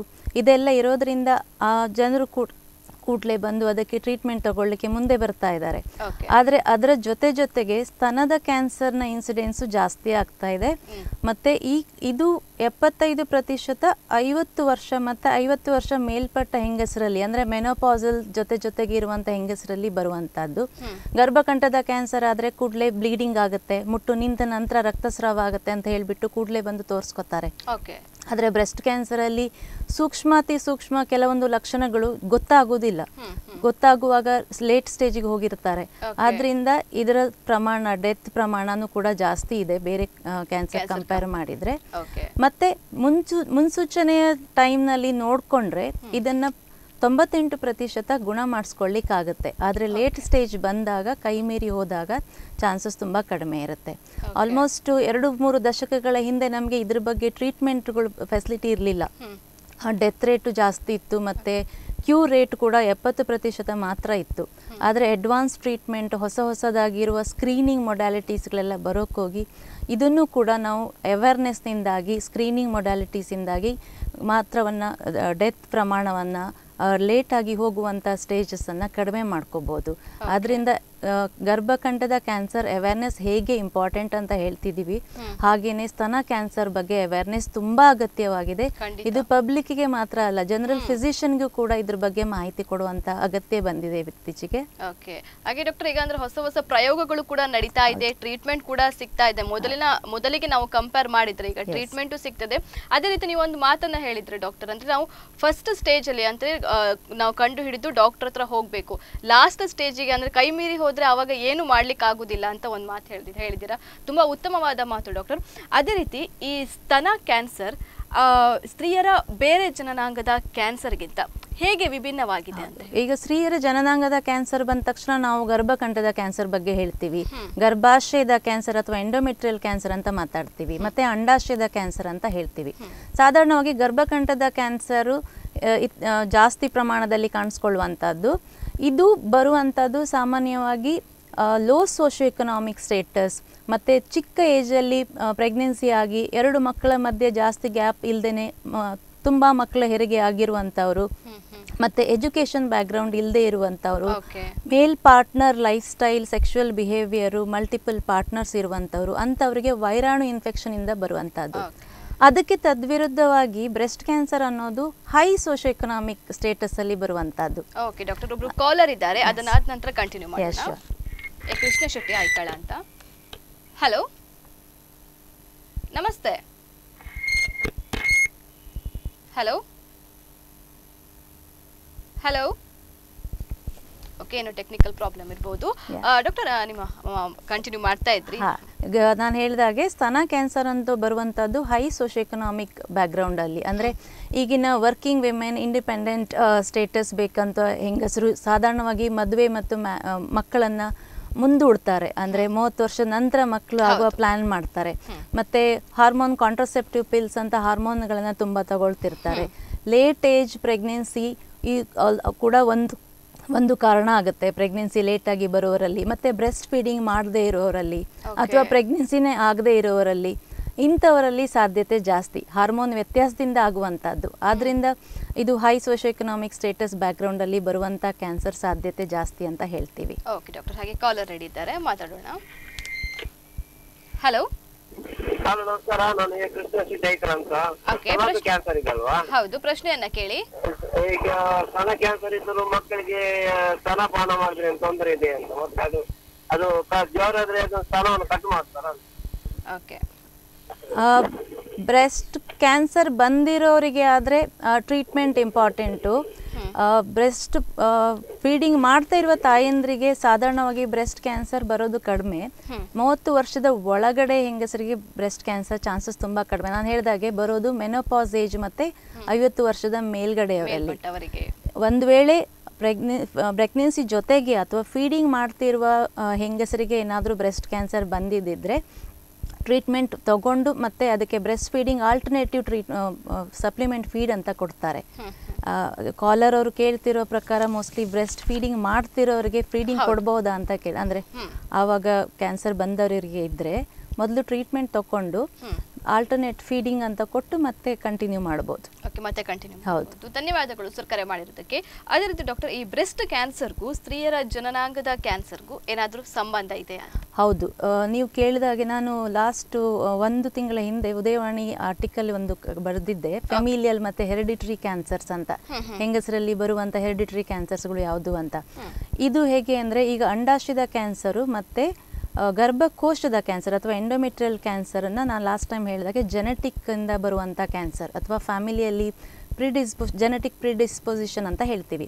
ಹಾಗೆ ದೊಡ್ಡ ಕರುಳಿನ ಕ್ಯಾನ್ಸರ್ ಕೂಡ ಇದೇ ಥರ ಬರುವಂಥದ್ದು ಹೆಚ್ಚಿನ ಕ್ಯಾನ್ಸರ್ಗಳು ಸ್ಪೊರಾಡಿಕ್ ಆಗಿ ಬರ್ತವೆ. ಅಂದರೆ ಅದಕ್ಕೆ ಯಾವುದೇ ಕಾರಣ ಇರಬೇಕಾಗಿಲ್ಲ. ಎನ್ವಿರಾನ್ಮೆಂಟ್ ಚೇಂಜಸ್ಸಿಂದ ಲೈಫ್ ಸ್ಟೈಲ್ ಚೇಂಜಸ್ಸಿಂದ ಏಜ್ ರಿಲೇಟೆಡ್ ಚೇಂಜಸ್ಸಿಂದ ಬರ್ಬೋದು. ಅದರಲ್ಲಿ ಹತ್ತರಿಂದ ಹದಿನೈದು ಪ್ರತಿಶತ ಕ್ಯಾನ್ಸರ್ಗಳು ಹೆರಿಡಿಟ್ರಿಯಿಂದ ಅಥವಾ ಫ್ಯಾಮಿಲಿಯಲ್ಲಿ ಇರುವ ತಾಯಿಯಿಂದ ಮಗಳಿಗೆ ಬರುವುದು ಅಥವಾ ಅತ್ತೆ ಆಂಟಿಯಿಂದ ಮಕ್ಕಳಿಗೆ ಬರುವಂಥದ್ದು ಈ ಥರ ಎಲ್ಲ first degree relative second degree relative ಅಂತ ಹೇಳ್ತಾರಲ್ಲ. ಇದಕ್ಕೆ ಜೆನೆಟಿಕ್ ಪ್ರಿಡಿಸ್ಪೋಸ್ಡ್ ಕ್ಯಾನ್ಸರ್ ಅಂತ ಹೇಳ್ತೀವಿ. ಹಾಗೆಯೇ ಸ್ತನ ಕ್ಯಾನ್ಸರಿಗೂ ಮತ್ತು ಅಂಡಾಶಯ ಕ್ಯಾನ್ಸರಿಗೂ ಇದೇ ಥರ ಸಂಬಂಧ ಇದೆ. ತಾಯಿಯಲ್ಲಿ ಬ್ರೆಸ್ಟ್ ಕ್ಯಾನ್ಸರ್ ಇದ್ದರೆ ಮಗಳಲ್ಲಿ ಓವೇರಿಯನ್ ಕ್ಯಾನ್ಸರ್ ಬರ್ಬೋದು ಅಥವಾ ತಾಯಿಯಲ್ಲಿ ಓವೇರಿಯನ್ ಕ್ಯಾನ್ಸರ್ ಇದ್ದರೆ ಮಕ್ಕಳಲ್ಲಿ ಹೆಣ್ಣು ಮಕ್ಕಳಲ್ಲಿ ಓವೇರಿಯನ್ ಕ್ಯಾನ್ಸರ್ ಅಥವಾ ಬ್ರೆಸ್ಟ್ ಕ್ಯಾನ್ಸರ್ ಬರ್ಬೋದು. ಇದಕ್ಕೆ ಕೆಲವೊಂದು ಜೆನೆಟಿಕ್ಸ್ನ ಪತ್ತೆ ಹಚ್ಚಿದ್ದಾರೆ. ಇದನ್ನ ಇದ್ರ ಮೂಲಕ ಹೆರಿಡಿಟ್ರಿ ಬ್ರೆಸ್ಟ್ ಓವೇರಿಯನ್ ಕ್ಯಾನ್ಸರ್ ಅಂತ ಕೂಡ ಒಂದಿದೆ. ಒಂದಕ್ಕೊಂದು ಸಂಬಂಧ ಇರುವಂತಹದ್ದು ಓಕೆ ಹಾಗೆ ನಾವು ಇತ್ತೀಚಿನ ದಿನಗಳಲ್ಲಿ ಗರ್ಭಕಂಠದ ಕ್ಯಾನ್ಸರ್ಗಿಂತ ಬ್ರೆಸ್ಟ್ ಕ್ಯಾನ್ಸರ್ ಬಗ್ಗೆ ಜಾಸ್ತಿಯಾಗಿನೇ ಕೇಳ್ತಾ ಇದ್ದೇವೆ ಜಾಸ್ತಿಯಾಗಿ ಪತ್ತೆ ಹಚ್ಚುತ್ತಾ ಇದ್ದಾರೆ ಅನ್ನುವಂಥದ್ದು ಕೇಳ್ಪಟ್ಟಿದ್ದೇವೆ. ಸೊ ಇದಕ್ಕೆ ಕಾರಣ ಏನು ಡಾಕ್ಟರ್ ನಾನು ಈಗಾಗಲೇ ಹೇಳಿದಾಗೆ ಗರ್ಭಕಂಠದ ಕ್ಯಾನ್ಸರ್ನ ಎಲಿಮಿನೇಟ್ ಮಾಡಬೇಕು ಅಂತ ಮಹತ್ತರವಾದ ಪ್ರೋಗ್ರಾಮ್ಗಳನ್ನು ಹಂಚ್ಕೊಂಡಿದ್ದೀವಿ. ಎರಡು ಸಾವಿರದ ಮೂವತ್ತರ ಒಳ- ಒಳಗಡೆ ಇದನ್ನು ಎಲಿಮಿನೇಟ್ ಮಾಡಬೇಕು ಅಂದ್ಬಿಟ್ಟು ಸಾವಿರಾರು ಪ್ರೋಗ್ರಾಮ್ಗಳನ್ನು ಡಬ್ಲ್ಯೂ ಎಚ್ ಮತ್ತು Indian government family welfare programme ಅವರು ಸ್ಕ್ರೀನಿಂಗ್ ಮೆಥಡಾಲಜಿನ ಎಲ್ಲ ಕಡೆ ಇನ್ವಾಲ್ವ್ ಮಾಡಿಸಿದ್ದಾರೆ. ಹ್ಯೂಮನ್ ಪ್ಯಾಪಿಲೋಮಾ ವೈರಸ್ ಅಂತ ಸ್ಪೆಸಿಫಿಕ್ ಟೆಸ್ಟನ್ನು ಎಲ್ಲ ಕಡೆ ಹಮ್ಮಿಕೊಂಡಿದ್ದಾರೆ. ಮತ್ತು ವ್ಯಾಕ್ಸಿನ್ ಬಗ್ಗೆ ಮಾಹಿತಿ ಕೊಟ್ಬಿಟ್ಟು ಎಲ್ಲ ಚಿಕ್ಕ ಅಡೋಲಸೆಂಟ್ ಮಕ್ಕಳಿಗೆ ವ್ಯಾಕ್ಸಿನ್ ಕೊಡುವ ಬಗ್ಗೆನೂ ಅವೇರ್ನೆಸ್ ಶುರುವಾಗಿದೆ. ಸೊ ನೈಂಟಿ ಪ್ರತಿಶತ ಅವೇರ್ನೆಸ್ ಅದ್ರ ಬಗ್ಗೆನೇ ಜಾಸ್ತಿ ಕಾನ್ಸಂಟ್ರೇಟ್ ಆಗಿದೆ. ಆದರೆ ಬ್ರೆಸ್ಟ್ ಕ್ಯಾನ್ಸರ್ ಬಗ್ಗೆ ಅವೇರ್ನೆಸ್ ಇನ್ನೂ ಜಾಸ್ತಿ ಆಗಿಲ್ಲ. ಸೊ ಈ ಕಾರಣದಿಂದಾಗಿ lack of awareness is one of the reason ಅನ್ಕೋಬಹುದು ಮತ್ತೆ ಲೈಫ್ ಸ್ಟೈಲ್ ಚೇಂಜಸ್ ಇತ್ತೀಚಿನ ದಿನಗಳಲ್ಲಿ ನಾನು ಹೇಳಿದಾಗೆ late marriage late pregnancy plan hormone replacement ಇವೆಲ್ಲಗಳಿಂದಾಗಿಯೂ ಕೂಡ ಬ್ರೆಸ್ಟ್ ಕ್ಯಾನ್ಸರ್ ಸಾಧ್ಯತೆ ಜಾಸ್ತಿ ಆಗ್ತಾ ಇದೆ. ಓಕೆ ಡಾಕ್ಟರ್ ಹಾಗೆ ಈ ಕ್ಯಾನ್ಸರ್ ಯಾರಲ್ಲಿ ಬರುವಂತ ಸಾಧ್ಯತೆ ಹೆಚ್ಚು ಇರ್ತದೆ? ನಾವು ಇದನ್ನ ರಿಸ್ಕ್ ಫ್ಯಾಕ್ಟರ್ಸ್ ಅಂತ ಐಡೆಂಟಿಫೈ ಮಾಡ್ತೀವಿ. ಈಗ ಒಂದು ಕ್ಯಾನ್ಸರ್ ಬಂತು ಅಂದ್ರೆ ಎಲ್ಲರಿಗೂ ಬರಬೇಕು ಅಂತಿಲ್ಲ. ಸೊ ರಿಸ್ಕ್ ಫ್ಯಾಕ್ಟರ್ಸ್ ಅಂದ್ರೆ ಇದು ನಾನು ಹೇಳ್ದಂಗೆ ಲೈಫ್ ಸ್ಟೈಲ್ ರಿಲೇಟೆಡ್ ಇರುತ್ತೆ ಮತ್ತೆ ಅವರು ತಗೊಳ್ಳುವ ಆಹಾರ ಪದ್ಧತಿ ಮತ್ತು ಹಾರ್ಮೋನ್ ಪದ್ಧತಿ ಇದ್ರ ಮೇಲೂ ಡಿಪೆಂಡ್ ಆಗಿರ್ಬೋದು. ನಾವು ಇದನ್ನು major risk factors intermediate risk factor ಮತ್ತು ಮೈನರ್ ರಿಸ್ಕ್ ಫ್ಯಾಕ್ಟರ್ ಅಂತ ಹೇಳ್ತೀವಿ. ಈ ಮೇಜರ್ ಅಂದರೆ ಐವತ್ತು ವರ್ಷದ ಮೇಲ್ಪಟ್ಟವರು. ಸಾಧಾರಣವಾಗಿ ಮೂವತ್ತು ವರ್ಷದಿಂದ ಕಡಿಮೆ ಇರೋರಲ್ಲಿ ಈ ಕ್ಯಾನ್ಸರ್ ಸಾಧ್ಯತೆ ತುಂಬ ಕಡಿಮೆ. ಇಲ್ಲ ಅಂತಲ್ಲ ತುಂಬಾ ಕಡಿಮೆ ಇರುತ್ತೆ. ಆದರೆ ಪ್ರತಿ ಹತ್ತು ವರ್ಷ ಮೂವತ್ತು ವರ್ಷದ ನಂತರ ಪ್ರತಿ ಹತ್ತು ವರ್ಷಕ್ಕೊಮ್ಮೆ ಇನ್ಸಿಡೆನ್ಸ್ ಡಬಲ್ ಆಗ್ತಾ ಹೋಗುತ್ತೆ. ಸೊ ಐವತ್ತರವತ್ತು ವರ್ಷ ಬರೋ ಅಷ್ಟೊತ್ತಿಗೆ ಆಲ್ಮೋಸ್ಟ್ ಫಿಫ್ಟಿ ಪರ್ಸೆಂಟ್ ಬಂದಿರ್ತಾರೆ. ಸೊ ಈ ಒಂದು ಸಾಧ್ಯತೆ ಮತ್ತು ಬೇಗ ಮುಟ್ಟಾಗುವಂಥ ಚಿಕ್ಕ ಏಜಲ್ಲಿ ಹತ್ತು ಹನ್ನೊಂದು ವರ್ಷಕ್ಕೆ ಮುಟ್ಟಾಗುವವರಲ್ಲಿ ಅಥವಾ ತುಂಬ ಲೇಟಾಗಿ ಮುಟ್ಟು ನಿಲ್ಲುವವರಲ್ಲಿ ಮೆನೋಪಾಸ್ ಇದು ಎಂಡೋಮೆಟ್ರಿಯಲ್ ಕ್ಯಾನ್ಸರಿಗೂ ಇದೇ ಕಾರಣ ಇರುತ್ತೆ. ಸೊ ತುಂಬ ವರ್ಷದವರೆಗೆ ಮುಟ್ಟು ಆಗ್ತಾ ಇದ್ದವರಿಗೂ ಕೂಡ ಮತ್ತೆ ಹಾರ್ಮೋನ್ ರೀಪ್ಲೇಸ್ಮೆಂಟ್ ಥೆರಪಿ ಅಂತ ಹೇಳ್ತೀವಿ. ಅದನ್ನು ತಗೊಂಡವರಲ್ಲಿ. ಆಮೇಲೆ ಹಳೆಯದಾಗಿ ಮುಂಚಿತವಾಗಿ ಯಾವಾಗಲಾದರೂ ಬ್ರೆಸ್ಟ್ ಕ್ಯಾನ್ಸರ್ ಬಂದಿದ್ದಿದ್ರೆ. ಅಥವಾ ರೇಡಿಯೇಷನ್ ತಗೊಂಡಿದ್ದಿದ್ರೆ ಅಥವಾ ಫ್ಯಾಮಿಲಿಯಲ್ಲಿದ್ದರೆ ಫಸ್ಟ್ ಡಿಗ್ರಿ ರಿಲೇಟಿವ್ ಅಂದರೆ parents to daughter mother to daughter ಹಾಗೆಲ್ಲ ಇದ್ದರೆ ಅಂಥವರಲ್ಲಿ ಸಾಧ್ಯತೆ ಹೈ ರಿಸ್ಕ್ ಕ್ಯಾಟಗರಿಯವರು ಅಂತ ಹೇಳ್ತೀವಿ. ಅವರಲ್ಲಿ ಚಾನ್ಸಸ್ ಜಾಸ್ತಿ. ಇನ್ನು ಇಂಟರ್ಮೀಡಿಯೇಟ್ ಕ್ಯಾಟಗರಿ ಅಂತ ಹೇಳಿದರೆ ಇವರಲ್ಲಿ ಇರಿಡೇಷನ್ ಆಗಿರೋರು ಅಥವಾ ಜಸ್ಟ್ ಫಸ್ಟ್ ಡಿಗ್ರಿ ರಿಲೇಟಿವ್ಸ್ ಯಾರಿಗಾರು ಬಂದಿದ್ದಿದ್ರೆ ಅವರಿಗೆ ಮಾತ್ರ ಅಥವಾ ಡಯೆಟ್ ಹೈ ಫ್ಯಾಟಿ ಡಯಟ್ ತುಂಬ ಫ್ಯಾಟಿ ಡಯಟ್ ತಗೊಳ್ಳೋರು ಆಲ್ಕೋಹಾಲ್ ಕನ್ಸಂಪ್ಷನ್ ಮಾಡೋರು. ಇಂಥವರಲ್ಲಿ ಸಾಧ್ಯತೆ ಜಾಸ್ತಿ ಇರುತ್ತೆ. ಮತ್ತೆ ಯಾವಾಗಲಾದರೂ ಯಾವುದಕ್ಕೆ ಕಾರಣ ಥೈರಾಯ್ಡ್ಗೂ ಅಥವಾ ಬೇರೆ ಯಾವುದೇ ಕಾರಣಕ್ಕೆ ರೇಡಿಯೇಷನ್ ತಗೊಂಡಿದ್ರೆ ಚೆಸ್ಟ್ ಲಂಗ್ ಕ್ಯಾನ್ಸರ್ ಯಾವುದಕ್ಕೊಂದು ರೇಡಿಯೇಷನ್ ತಗೊಂಡಿದ್ದಿದ್ರೆ ಅಂಥವರಲ್ಲೂ ಜಾಸ್ತಿ ಇರುತ್ತೆ. ಇನ್ನು ಲೋ ರಿಸ್ಕ್ ಅಥವಾ ಡೈರೆಕ್ಟ್ಲಿ ಗೊತ್ತಿಲ್ಲ ಅದ್ರ ಕಾರಣ ಒಬೆಸಿಟಿ ಮತ್ತೆ ಸ್ಟ್ರೆಸ್ ಕೂಡ one of the minor risk factor ಅಂತ ಹೇಳ್ತಾರೆ. ಸೊ ಒಬೆಸಿಟಿ ಅನ್ನೋದು ಸಾಮಾನ್ಯವಾಗಿ ಎಲ್ಲ ಕಾಯಿಲೆಗೂ ಕಾರಣ. ಸೊ ಒಬೆಸಿಟಿ ಮತ್ತೆ stress work stress environmental stress ಇದು ಕೂಡ one of the risk factors okay three types ಹೌದು major risk factor intermediate risk factor ಮತ್ತೆ minor risk factors okay doctor ಹಾಗೆ ನೀವು ಈಗಾಗಲೇ ಮಾತಾಡುವಾಗ ಹೇಳಿದ್ರಿ ಅಂದ್ರೆ ಅನುವಂಶೀಯವಾಗಿ ಕಂಡು ಬರ್ತದೆ ಅನ್ನುವಂಥದ್ದು. ಈಗ ಇತ್ತೆ ಅಂದ್ರೆ ಸುಮಾರು ಟೆನ್ ಟು ಫಿಫ್ಟೀನ್ ಪರ್ಸೆಂಟ್ ಅನುವಂಶೀಯವಾಗಿ ಕಂಡು ಬರ್ತದೆ ಈ ಕ್ಯಾನ್ಸರ್ ಅಂತ. ಈ ಕ್ಯಾನ್ಸರ್ ಅನ್ನ ಈ ಅನುವಂಶೀಯವಾಗಿ ಕಂಡು ಬರುವಂತಹ ಕ್ಯಾನ್ಸರ್ ಅನ್ನ ಹೇಗೆ ಪತ್ತೆ ಹಚ್ಚುವುದು? ನಮ್ಗೆ ಹೇಗೆ ಗೊತ್ತಾಗ್ತದೆ ಅಂತ? ಥ್ಯಾಂಕ್ಫುಲಿ ಎರಡು ಥರದ ಅನುವಂಶಿಕ ಜೆನೆಟಿಕ್ ಪ್ರಿಡಿಸ್ಪೋಷನ್ ಬಗ್ಗೆ ನಾವು ಕಂಡುಹಿಡಿದಿದ್ದೀವಿ. ಒಂದು BRCA one and BRCA two ಅಂತ. ಬ್ರೆಸ್ಟ್ ರಿಲೇಟೆಡ್ ಕಾರ್ಸಿನ ಆಂಟಿಜನ್ ಅಂತ ಒನ್ ಆ್ಯಂಡ್ ಟೂ ಅಂತ. ಇದೆರಡನ್ನು ಐಡೆಂಟಿಫೈ ಮಾಡಿದ್ದೀವಿ. ಇದನ್ನು ಪತ್ತೆ ಹಚ್ಚಲಿಕ್ಕಾಗತ್ತೆ. ಲೈಕ್ ತಾಯಿಯಲ್ಲಿ ಬಂದಿದ್ದಿದ್ರೆ ಬ್ರೆಸ್ಟ್ ಕ್ಯಾನ್ಸರ್ ಬಂದಿದ್ದಿದ್ರೆ ಹೆಣ್ಣು ಮಕ್ಕಳಲ್ಲಿ ಬರುತ್ತಾ ಇಲ್ವಾ ಅಂತ ನೋಡ್ಕೊಳ್ಳಿಕ್ಕೆ ಈ ಬ್ರಾಕಾ ಟೆಸ್ಟನ್ನು ಮಾಡ್ತೀವಿ. ಇದು ಜೆನೆಟಿಕ್ ಡಿಪಾರ್ಟ್ಮೆಂಟಲ್ಲಿ ಅಥವಾ ಮೆಡಿಕಲ್ ಆಂಕಾಲಜಿ ಡಿಪಾರ್ಟ್ಮೆಂಟಲ್ಲಿ ಮಾಡ್ತಾರೆ ಈ ಟೆಸ್ಟನ್ನು ಇದರಲ್ಲಿ ಎಷ್ಟು ಸಾಧ್ಯತೆ ಇದೆ ಅಂತ ನೋಡ್ಕೊಳ್ಳಿಕ್ಕಾಗತ್ತೆ. ಸೊ ನಾನು ಹೇಳಿದಾಗೆ ಹತ್ತರಿಂದ ಹದಿನೈದು ಪ್ರತಿಶತ ಜಾಸ್ತಿ ಜೆನೆಟಿಕ್ ಪ್ರಿಡಿಸ್ಪೊಸಿಷನ್ ಇಂದ ಬರುವಂಥದ್ದು ಆದರೆ ಎಲ್ಲರಿಗೂ ಜೆನೆಟಿಕ್ಸ್ ಇಂದನೇ ಬರಬೇಕು ಅಂತೇನಿಲ್ಲ. ಅದರಲ್ಲಿ ಮ್ಯುಟೇಷನ್ಸ್ ಆಗ್ತಾ ಇದ್ರೆ ಮಾತ್ರ ಈಗ ತಾಯಿಯಲ್ಲಿ ಬ್ರಾಕ ಒನ್ ಅಥವಾ ಬ್ರಾಕ ಟೂ ಇದೆ ಅಂದರೆ ಮಕ್ಕಳಲ್ಲಿ ಬಂದಿರೋ ಚಾನ್ಸಸ್ ಇರುತ್ತೆ. ಅದು ಬ್ರೆಸ್ಟಲ್ಲಿಗೆ ಇರ್ಬೋದು ಅಥವಾ ಓವರಿಗೂ ಇರ್ಬೋದು. ಸೊ ಈ ಎರಡು ಜೆನೆಟಿಕ್ಸನ್ನ ಮ್ಯುಟೇಷನ್ಸ್ನ ಪತ್ತೆ ಹಚ್ಚಲಿಕ್ಕೆ ಸಾಧ್ಯ ಇರೋದ್ರಿಂದ ಈ ಹೆರಿಡಿಟರಿ ಕ್ಯಾನ್ಸರ್ಗಳು ಕೂಡ ಮುಂಚಿತವಾಗಿ ಜಾಗ್ರತೆ ವಹಿಸ್ಲಿಕ್ಕಾಗತ್ತೆ. Okay okay. ಹಾಗೆ ಈ ಬ್ರೆಸ್ಟ್ ಕ್ಯಾನ್ಸರ್ ಅಲ್ಲೂ ಕೂಡ ಟೈಪ್ಸ್ ಇದೆ ಎಷ್ಟು ಟೈಪ್ಸ್ ಇದೆ ಇದ್ದರೆ? ಹೌದು ಈಗ ಬ್ರೆಸ್ಟ್ ಸ್ಟ್ರಕ್ಚರ್ ವೈಸ್ ಏನು ಹೇಳ್ತೀವಿ ಒಂದು ಲೋಬ್ಯುಲರ್ ಪಾರ್ಟ್ ಅಂತ ಇದೆ. ಈ ಪಿಕ್ಚರಲ್ಲಿ ತೋರಿಸಿದ ಹಾಗೆ ಒಂದು ಲೋಬ್ಯುಲರ್ ಹಾಲು ಉತ್ಪತ್ತಿಯಾಗಿ ನಿಲ್ಲುವಂಥ ಜಾಗ ಅದು ಬ್ರೆಸ್ಟ್ ಫೀಡಿಂಗ್ ಮದರ್ಸ್ ಅಲ್ಲಿ. ಇನ್ನೊಂದು ನಾಳ ಡಕ್ಟ್ಸ್ ಅಂತ ಹೇಳ್ತೀವಿ. ಆ ನಾಳದ ಮೂಲಕ ಬ್ರೆಸ್ಟ್ ಸೆಕ್ರೇಷನ್ ಆಗಿ ಬಂದು ನಿಪ್ಪಲ್ ಮೂಲಕ ಮಗು ಹಾಲು ತಗೊಳ್ಳುವಂಥದ್ದು ಈ ಲೋಬ್ಯುಲರ್ ಕ್ಯಾನ್ಸರ್ ಅಂತ ಒಂದು ಥರದ್ದಿರುತ್ತೆ ಆ ಡಕ್ಟಲ್ಲಿ ಬರುವ ಒಂದು ಕ್ಯಾನ್ಸರ್ಗೆ ಡಕ್ಟಲ್ ಕ್ಯಾನ್ಸರ್ ಅಂತ ಹೇಳ್ತೀವಿ. ಡಕ್ಟಲ್ ಕಾರ್ಸಿನೋಮ ಅಂತ ಹೇಳ್ತೀವಿ. ಈ ಎಂಬತ್ತು ಪ್ರತಿಶತ ಬ್ರೆಸ್ಟ್ ಕ್ಯಾನ್ಸರ್ ಬರೋದು ಈ ನಾಳಗಳಿಂದ. ನಾಳದಲ್ಲಿರುವಂಥ ಕ್ಯಾನ್ಸರ್ ಡಕ್ಟಲ್ ಕ್ಯಾರ್ಸಿನೋಮ ಅಂತ ಹೇಳ್ತೀವಿ. ಸೊ ಅದಲ್ಲದೆ ಬೇರೆ ಕ್ಯಾನ್ಸರ್ಗಳ ಮೂಲಕ ಕೂಡ ಬ್ರೆಸ್ಟಿಗೆ ಕ್ಯಾನ್ಸರ್ ಹಬ್ಬಬಹುದು. ಅಂದರೆ ಬ್ರೆಸ್ಟಲ್ಲೇ ಪ್ರೈಮರಿಯಾಗಿ ಬ್ರೆಸ್ಟಿಂದನೇ ಬರಬೇಕಂತ ಇಲ್ಲ. ಈಗ ಅಂಡಾಶಯದ ಕ್ಯಾನ್ಸರು ಕೋಲಾನ್ ಕ್ಯಾನ್ಸರು ಇವರು ಕೂಡ ಜೆನೆಟಿಕ್ ಪ್ರಿಡಿಸ್ಪೊಸಿಷನ್ ಇರೋರಿಗೆ ಆ ಕ್ಯಾನ್ಸರ್ ಫಸ್ಟ್ ಬಂದು ಅಲ್ಲಿಂದ ಹರಡಿಬಿಟ್ಟು ಬ್ರೆಸ್ಟ್ಗೂ ಬರ್ಬೋದು ಮೆಟಾಸ್ಟ್ಯಾಟಿಕ್ ಕ್ಯಾನ್ಸರ್ ಅಂತ ಹೇಳ್ತೀವಿ. ಅಥವಾ ಒಂದ್ಸರಿ ಬಂದ ಬ್ರೆಸ್ಟ್ ಕ್ಯಾನ್ಸರ್ ಮತ್ತೆ ಮತ್ತೆ ಬಂದು ರೆಕರೆಂಟ್ ಕ್ಯಾನ್ಸರ್ ಅಂತಲೂ ಆಗ್ಬೋದು. ಓಕೆ. ಸೊ ಬ್ರೆಸ್ಟಲ್ಲಿ ಇದೇ ಥರ ವಿಧ ವಿಧವಾದ ಕ್ಯಾನ್ಸರ್ಗಳು ಬರೋ ಚಾನ್ಸಸ್ ಉಂಟು. Okay doctor. ಹಾಗೇನು ಸ್ತನದಲ್ಲಿ ಕೆಲವೊಮ್ಮೆ ಕೆಲವು ಬದಲಾವಣೆಗಳು ಕಾಣಿಸ್ಕೊಳ್ತದೆ. ಸೊ ಕೆಲವರಿಗೆ ಒಂದು ಪೀರಿಯಡ್ಸ್ ಟೈಮಲ್ಲಿ ಕೂಡ ಆಗಿರ್ಬೋದು ಕೆಲವು ಹೆಂಗಸರಿಗೆ ಅಥವಾ ಹುಡುಗಿಯರಿಗೆ. ಸೊ ಈ ಬದಲಾವಣೆಯನ್ನ ನಾವು ಕ್ಯಾನ್ಸರ್ನ ಲಕ್ಷಣಗಳು ಅಂತ ಪರಿಗಣಿಸಬೇಕಾ? ಏನಾದರೂ ಮುನ್ನೆಚ್ಚರಿಕೆ ತೆಗೆದುಕೊಳ್ಬೇಕಾ? ಅಥವಾ ಡಾಕ್ಟರ್ ಹತ್ರ ನಾವು ಹೋಗ್ಬೇಕಾ? ಅಥವಾ ಏನು ಆಗುದಿಲ್ಲ ಅಂತ ಸುಮ್ಮನೆ ಇರಬಹುದು ತುಂಬಾ ಒಳ್ಳೆಯ ಕ್ವಶನ್ ಕೇಳಿದಿರಿ ಯಾಕೆಂದರೆ ಹೆಚ್ಚಿನ ಹೆಂಗಸರಲ್ಲಿ ಈಗ ಅವೇರ್ನೆಸ್ ಶುರು ಆದ್ರಿಂದ ಬ್ರೆಸ್ಟ್ ಪೇಯ್ನ್ ಬಂದ ತಕ್ಷಣ ಹೆದರ್ಕೊಂಡ್ಬಿಡ್ತಾರೆ. ಹೌದು. ಬ್ರೆಸ್ಟ್ ಕ್ಯಾನ್ಸರ್ ಅಲ್ಲದೆ ತರ ಕೆಲವೊಂದು ಲಕ್ಷಣಗಳು ಕೂಡ ಬ್ರೆಸ್ಟಲ್ಲಿ ಹಾರ್ಮೋನ್ ವ್ಯತ್ಯಾಸದಿಂದ ಕಾಣಿಸ್ಕೊಳ್ತಾ ಇರುತ್ತೆ ಜೀವನ ಪರ್ಯಂತ. ಅದರಲ್ಲಿ ಒಂದು ಮುಟ್ಟಿನ ಸಮಯದಲ್ಲಿ ಬರುವಂಥ ಎದೆಯ ಕಂಜೆಷನ್ ಅಥವಾ ಪೇಯ್ನ್ ಅದಕ್ಕೆ ಫೈಬ್ರೋ ಎಡಿನೋಸಿಸ್ ಅಂತ ಹೇಳ್ತೀವಿ. ಇದು ಕ್ಯಾನ್ಸರ್ ಲಕ್ಷಣ ಅಲ್ಲ, ಇದು ಮುಟ್ಟಿನ ಹಾರ್ಮೋನಿನ ವ್ಯತ್ಯಾಸದಿಂದ ಬರೀ ಮುಟ್ಟಿನ ಟೈಮಲ್ಲಿ ಸೈಕ್ಲಿಕಲ್ ಆಗಿ ಬರುವಂಥದ್ದು ಮುಟ್ಟು ನಿಂತ ತಕ್ಷಣ ಇದು ಹೊರಟೋಗುತ್ತೆ. ಸೊ ಅದಕ್ಕೆ ಭಯ ಬೀಳುವಂಥ ಅಗತ್ಯ ಇಲ್ಲ. ಇನ್ನೊಂದು ಸಣ್ಣ ಬ್ರೆಸ್ಟು ಕೆಲವೊಂದು ಸಣ್ಣ ಗಡ್ಡೆ ಥರ ಇರುವಂಥದ್ದು ಮುಟ್ಟಿದಾಗ ಅಲ್ಲಿರುತ್ತೆ ಮತ್ತು ಒತ್ತಿದಾಗ ಇನ್ನೊಂದು ಕಡೆ ಮಿಸ್ಪ್ಲೇಸ್ ಆಗುತ್ತೆ. ಅದನ್ನು ಫೈಬ್ರೋ ಎಡಿನೋಮಾ ಅಂತೀವಿ. ಇದೆರಡು ಕಾರಣಗಳಲ್ಲಿ ಭಯ ಬೀಳುವ ಹೆದಕ್ಕೆ ಇಲ್ಲ. ಕೆಲವೊಂದು ಲಕ್ಷಣಗಳ ಬಗ್ಗೆ ನಾನು ಈಗ ಹೇಳ್ತೀನಿ ಏನಂದರೆ ಒಂದು ಬ್ರೆಸ್ಟಲ್ಲಿ ಗಟ್ಟಿಯಾಗಿ ಕಾಣಿಸ್ಕೊಳ್ಳುವಂಥ ಸಾಲಿಡ್ ಗಡ್ಡೆ ಥರ ಮೂವ್ ಆಗೋದಿಲ್ಲ ಅಲ್ಲೇ ನಿಂತಿರುತ್ತೆ. ಕೈ ಬೆರಳಿನ ತುದಿಯಲ್ಲಿ ಒತ್ತಿ ಮುಟ್ಟಿ ನೋಡಿದಾಗ ಆ ಗಂಟು ಥರ ಕಾಣಿಸ್ಕೊಂಡ್ರೆ ನಿಪ್ಪಲ್ಲು ಒಳಮುಖವಾಗಿ ಮಡ್ಚ್ಕೊಂಡಿದ್ರೆ ಅಥವಾ ಇನ್ವರ್ಟೆಡ್ ನಿಪ್ಪಲ್ ಅಂತ ಹೇಳ್ತೀವಿ. ನಿಪ್ಪಲ್ಲಿಂದ ವಾಟ್ರಿ ಡಿಸ್ಚಾರ್ಜ್ ಅಥವಾ ಬ್ಲಡ್ ಡಿಸ್ಚಾರ್ಜ್ ಬರ್ತಾ ಇದ್ದರೆ ಅಥವಾ ನಿಪ್ಪಲಲ್ಲಿ ಕಂಟಿನ್ಯೂಸ್ ಪೇಯ್ನ್ ಇದ್ದರೆ ಮತ್ತು ನಿಪ್ಪಲ್ ಸುತ್ತ ಡಾರ್ಕ್ ಏರಿಯಾ ಇರೋಕ್ಕೆ ಏರಿಯೋಲಾ ಅಂತ ಹೇಳ್ತೀವಿ. ಮಗು ಹಾಲು ಕುಡಿಯುವಾಗ ಈ ಭಾಗನೂ ಕೂಡ ತಗೋ ಮೂಲಕನೇ ಹಾಲು ಬರುವಂಥದ್ದು ಅದರಲ್ಲಿ ಹುಣ್ಣಾಗಿದ್ದಿದ್ರೆ ಇನ್ನು ಆರನೇದಾಗಿ ಕಂಕಳಲ್ಲಿ ಗಂಟಿರುತ್ತೆ. ಅದಕ್ಕೆ ಲಿಂಫ್ ನೋಡ್ ಅಂತ ಹೇಳ್ತೀವಿ. ಇದರಿಂದ ಕ್ಯಾನ್ಸರ್ ಸ್ಪ್ರೆಡ್ ಆಗುವ ಜಾಗ ಇದು. ಈ ಆರು ಲಕ್ಷಣಗಳನ್ನು ಹೆಂಗಸರಿಗೆ ಯಾವುದೇ ಥರ ಯಾವುದೇ ಟೈಮಲ್ಲಿ ಕಾಣಿಸ್ಕೊಂಡಾಗ ಅವರು ತಜ್ಞ ವೈದ್ಯರ ಸಲಹೆ ತಗೊಂಡು ಮುಂದಿನ ಟೆಸ್ಟ್ಗೆ ಹೋಗಬೇಕಾಗತ್ತೆ. ಯಾಕೆಂದರೆ ಇದು ಕೆಲವೊಂದು ಅರ್ಲಿ ಲಕ್ಷಣಗಳು. ಓಕೆ ಸೊ ಇಂಥ ಬದಲಾವಣೆಗಳು ಕಂಡಾಗ ತಡ ಮಾಡದೆ ನಾವು ಡಾಕ್ಟರ್. ಇನ್ನು ಕೆಲವು ಡಾಕ್ಟರ್ ಒಂದು ಮಾತು ಹೇಳ್ಬೇಕು. ಹೋಗ್ಲಿಕ್ಕೆ ನಾಚ್ಕೊಳ್ತಾರೆ. ಸೊ ಅದನ್ನ. ಹೇಳ್ಕೊಳ್ಲಿಕ್ಕೆ ಏನ್ ಅನ್ಕೊಳ್ತಾರೋ ಅಂತ. ಸೊ ಅಂತ ಏನ್ ಹೇಳ್ತೀರಾ ಡಾಕ್ಟರ್ ನೀವು ಇದ್ರ ಬಗ್ಗೆ? ಅದನ್ನ ಅದೇ ಅವೇರ್ನೆಸ್ಗೋಸ್ಕರ ನಾವು ಈ ಪ್ರೋಗ್ರಾಮ್ ಹಮ್ಮಿಕೊಂಡಿರೋದು. ಯಾಕೆಂದ್ರೆ ಮುಜುಗರತನ ನಾಚಿಕೆಯಿಂದಾಗಿ ಸೋಷಿಯಲ್ ಸ್ಟಿಗ್ಮಾದಿಂದಾಗಿ ಯಾರು ಚೆಕಪ್ಗೆ ಮುಂದೆ ಬರಲ್ಲ. ಅಂಥವ್ರಿಗೋಸ್ಕರನೇ ನಾವು ಬ್ರೆಸ್ಟ್ ಸೆಲ್ಫ್ ಎಕ್ಸಾಮಿನೇಷನ್ ಅಂತ ಹೇಳ್ಕೊಡ್ತೀವಿ. ಸೊ ದಟ್ ಅವರೇ ಮನೆಯಲ್ಲಿ ನೋಡ್ಕೋಬಹುದು ಇನ್ನು ಮುಂದಿನ ಸ್ಲೈಡ್ ಅಲ್ಲಿ ಪಿಕ್ಚರ್ ತೋರಿಸ್ತೀನಿ ಅದರಲ್ಲಿ. ಬ್ರೆಸ್ಟ್ ಅಲ್ಲಿ ಕನ್ನಡಿಯಲ್ಲಿ ಸ್ನಾನಕ್ಕೆ ಹೋದಾಗ ಕನ್ನಡಿಯಲ್ಲಿ ನಿಂತು ನೋಡ್ಕೊಂಡಾಗ ಬ್ರೆಸ್ಟಲ್ಲಿ ಕೆಂಪು ಬಣ್ಣದ ಬದಲಾವಣೆ ಕಾಣಿಸ್ಕೊಂಡ್ರೆ. ರೆಡ್ ಏರಿಯಾ ಆಗಿದೆ ಅಂತಿದ್ರೆ. ಅಥವಾ ಒಂದು ಬ್ರೆಸ್ಟ್ ದೊಡ್ಡದಿದೆ ಒಂದು ಬ್ರೆಸ್ಟ್ ಚಿಕ್ಕದಿದೆ ಅಂತ ಕಾಣಿಸಿದ್ರೆ. ಅಥವಾ ನಿಪ್ಪಲಲ್ಲಿ ಡಿಸ್ಚಾರ್ಜ್ ಬರ್ತಾ ಇದ್ರೆ.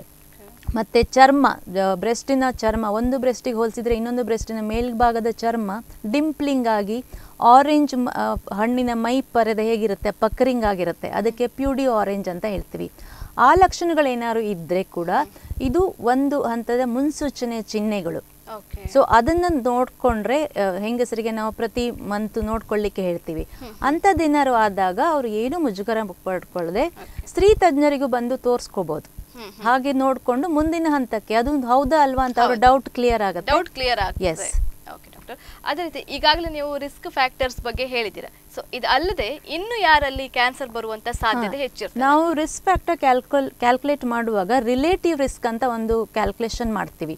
ಅದರಲ್ಲಿ ಇಂತಿಷ್ಟು ಪ್ರತಿಶತ ಜಾಸ್ತಿ ಯಾರಲ್ಲಿ ಬರುತ್ತೆ? ಮತ್ತೆ ಇನ್ನು ಕೆಲವುದರಲ್ಲಿ ಮಾಡಿಫೈಡ್ ಫ್ಯಾಕ್ಟರ್ಸ್ ಅಂತ ಹೇಳ್ತೀವಿ. ಈಗ ಜಾಸ್ತಿ ಬರುವಂಥದ್ದು age one is fifty above definitely chances ಜಾಸ್ತಿ ಇರುತ್ತೆ.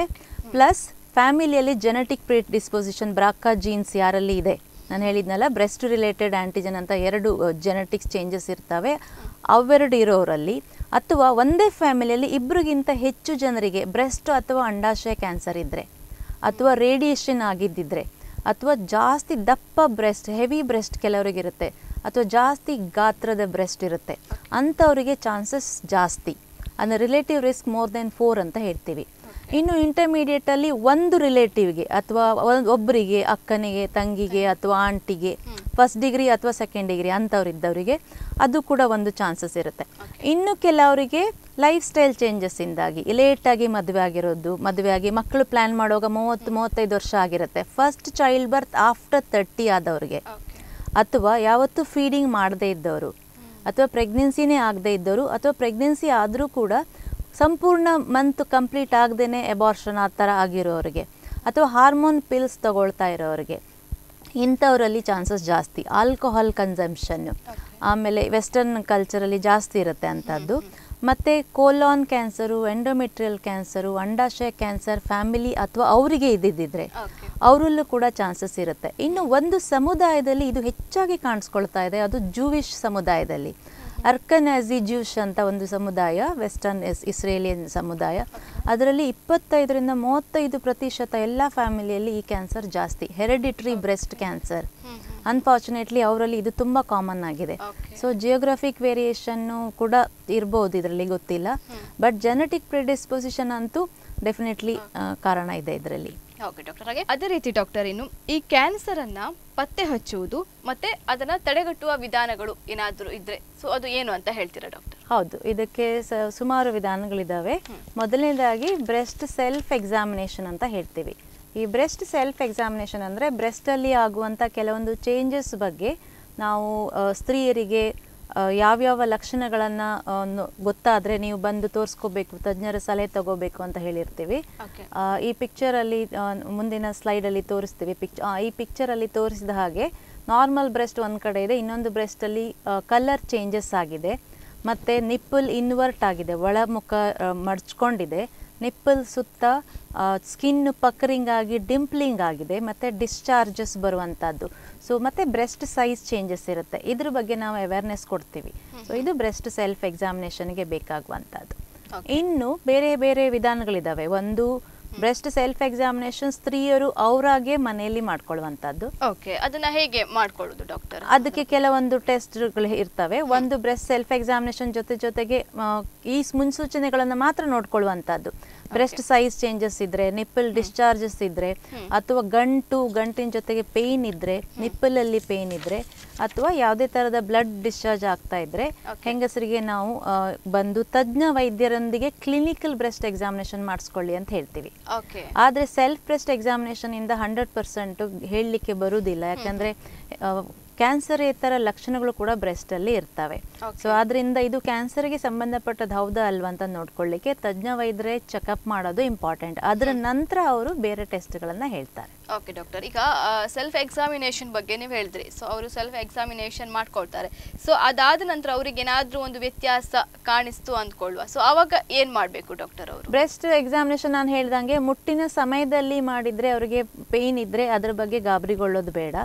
ಅದಲ್ದೇನೆ ತಿಂಗಳು ತಿಂಗಳಿಗೆ ನಾವು ಎಕ್ಸಾಮಿನೇಷನ್ ಮಾಡ್ಕೊಳ್ಳಿಕ್ಕೆ ಹೇಳ್ತೀವಿ. ಬ್ರೆಸ್ಟ್ ಎಕ್ಸಾಮಿನೇಷನ್ ಕೆಲವೊಂದು ಪ್ಯಾಂಪ್ಲೆಟ್ ಪಿಕ್ಚರ್ಸ್ ಇದಾವೆ ಮುಂದಿನ ಸ್ಲೈಡ್ ಅಲ್ಲಿ ತೋರಿಸ್ತೀವಿ. ಇದರಲ್ಲಿ ಕೆಲವೊಂದು ಲಕ್ಷಣಗಳು ಸ್ಥಾನಕ್ಕೆ ಹೋದಾಗ ಹೆಂಗಸರು ಕನ್ನಡಿಯಲ್ಲಿ ಎದುರು ನಿಂತು ಟೆಸ್ಟ್ ಮಾಡ್ಬೋದು. ಇದರಲ್ಲಿ ನಾವು ಜಸ್ಟ್ ಕ್ಲಿನಿಕಲ್ ಬ್ರೆಸ್ಟ್ ಎಕ್ಸಾಮಿನೇಷನ್ ಮತ್ತೆ ಸ್ಕ್ರೀನಿಂಗ್ ಟೆಸ್ಟ್ ಬಗ್ಗೆ ಹೇಳ್ತೀವಿ. ಇದಲ್ಲದೆ ಕನ್ಫರ್ಮೇಷನ್ಗೆ ನಾವು ಮ್ಯಾಮೋಗ್ರಫಿ ಅಲ್ಟ್ರಾಸೌಂಡ್ ಅಂತಾನೂ ಕೂಡ ಮಾಡೋಕೆ ಮಾಡೋಕ್ಕೆ ಅವಕಾಶ ಇರುತ್ತೆ ಕ್ಲಿನಿಕಲ್ ಬ್ರೆಸ್ಟ್ ಎಕ್ಸಾಮಿನೇಷನ್ ಮಾಡಿದಾಗ. ಮತ್ತೆ ಇನ್ನು ಇದಲ್ದೇನೆ ಮ್ಯಾಮೋಗ್ರಫಿ ಅಲ್ಟ್ರಾಸೌಂಡ್ ಎಲ್ಲ ಆದಾಗ ತಜ್ಞ ವೈದ್ಯರು ಇದರಲ್ಲಿ ಏನಾದರೂ ತೊಂದರೆ ಇದೆಯಾ ಇಲ್ವಾ ಅಂತ ಹೇಳಿ ಮತ್ತೆ ಟ್ರೀಟ್ಮೆಂಟ್ ಬಗ್ಗೆ ಹೇಳ್ತಾರೆ. ಬ್ರೆಸ್ಟ್ ಸೆಲ್ಫ್ ಎಕ್ಸಾಮಿನೇಷನ್ ಮಾಡ್ಕೊಳ್ಳೋದು ಹೆಂಗಸರು ಮುಟ್ಟಾಗಿ ನಾಲ್ಕು ಐದು ದಿವಸದ ನಂತರ ಸ್ನಾನಕ್ಕೆ ಹೋದಾಗ ಸ್ನಾನಗೃಹದಲ್ಲಿ ಕನ್ನಡಿ ಎದುರು ನಿಂತುಕೊಂಡು ನಾನು ಹೇಳಿದ ಚೇಂಜಸ್ ಸ್ಕಿನ್ ಚೇಂಜಸ್ಸು ಮತ್ತೆ ಗಂಟುಗಳು ಅದನ್ನೆಲ್ಲ ಕೈ ಬೆರಳಿನ ತುದಿಯಿಂದ ಮುಟ್ಟಿ ಒತ್ತಿ ಚೆಕ್ ಮಾಡ್ಕೋಬಹುದು ಈ ಪಿಕ್ಚರ್ ಅಲ್ಲಿ ತೋರಿಸಿದ ಹಾಗೆ ಬೆರಳಿನ ತುದಿಯಿಂದ ಇಡೀ ಬ್ರೆಸ್ಟ್ ಅನ್ನ ಮೇಲಿಂದ ಕೆಳಗಡೆ ಮೇಲಿಂದ ಕೆಳಗಡೆ ಇಡೀ ಬ್ರೆಸ್ಟ್ ಅನ್ನ ಮುಟ್ಟಿ ನೋಡ್ಕೋಬೇಕು.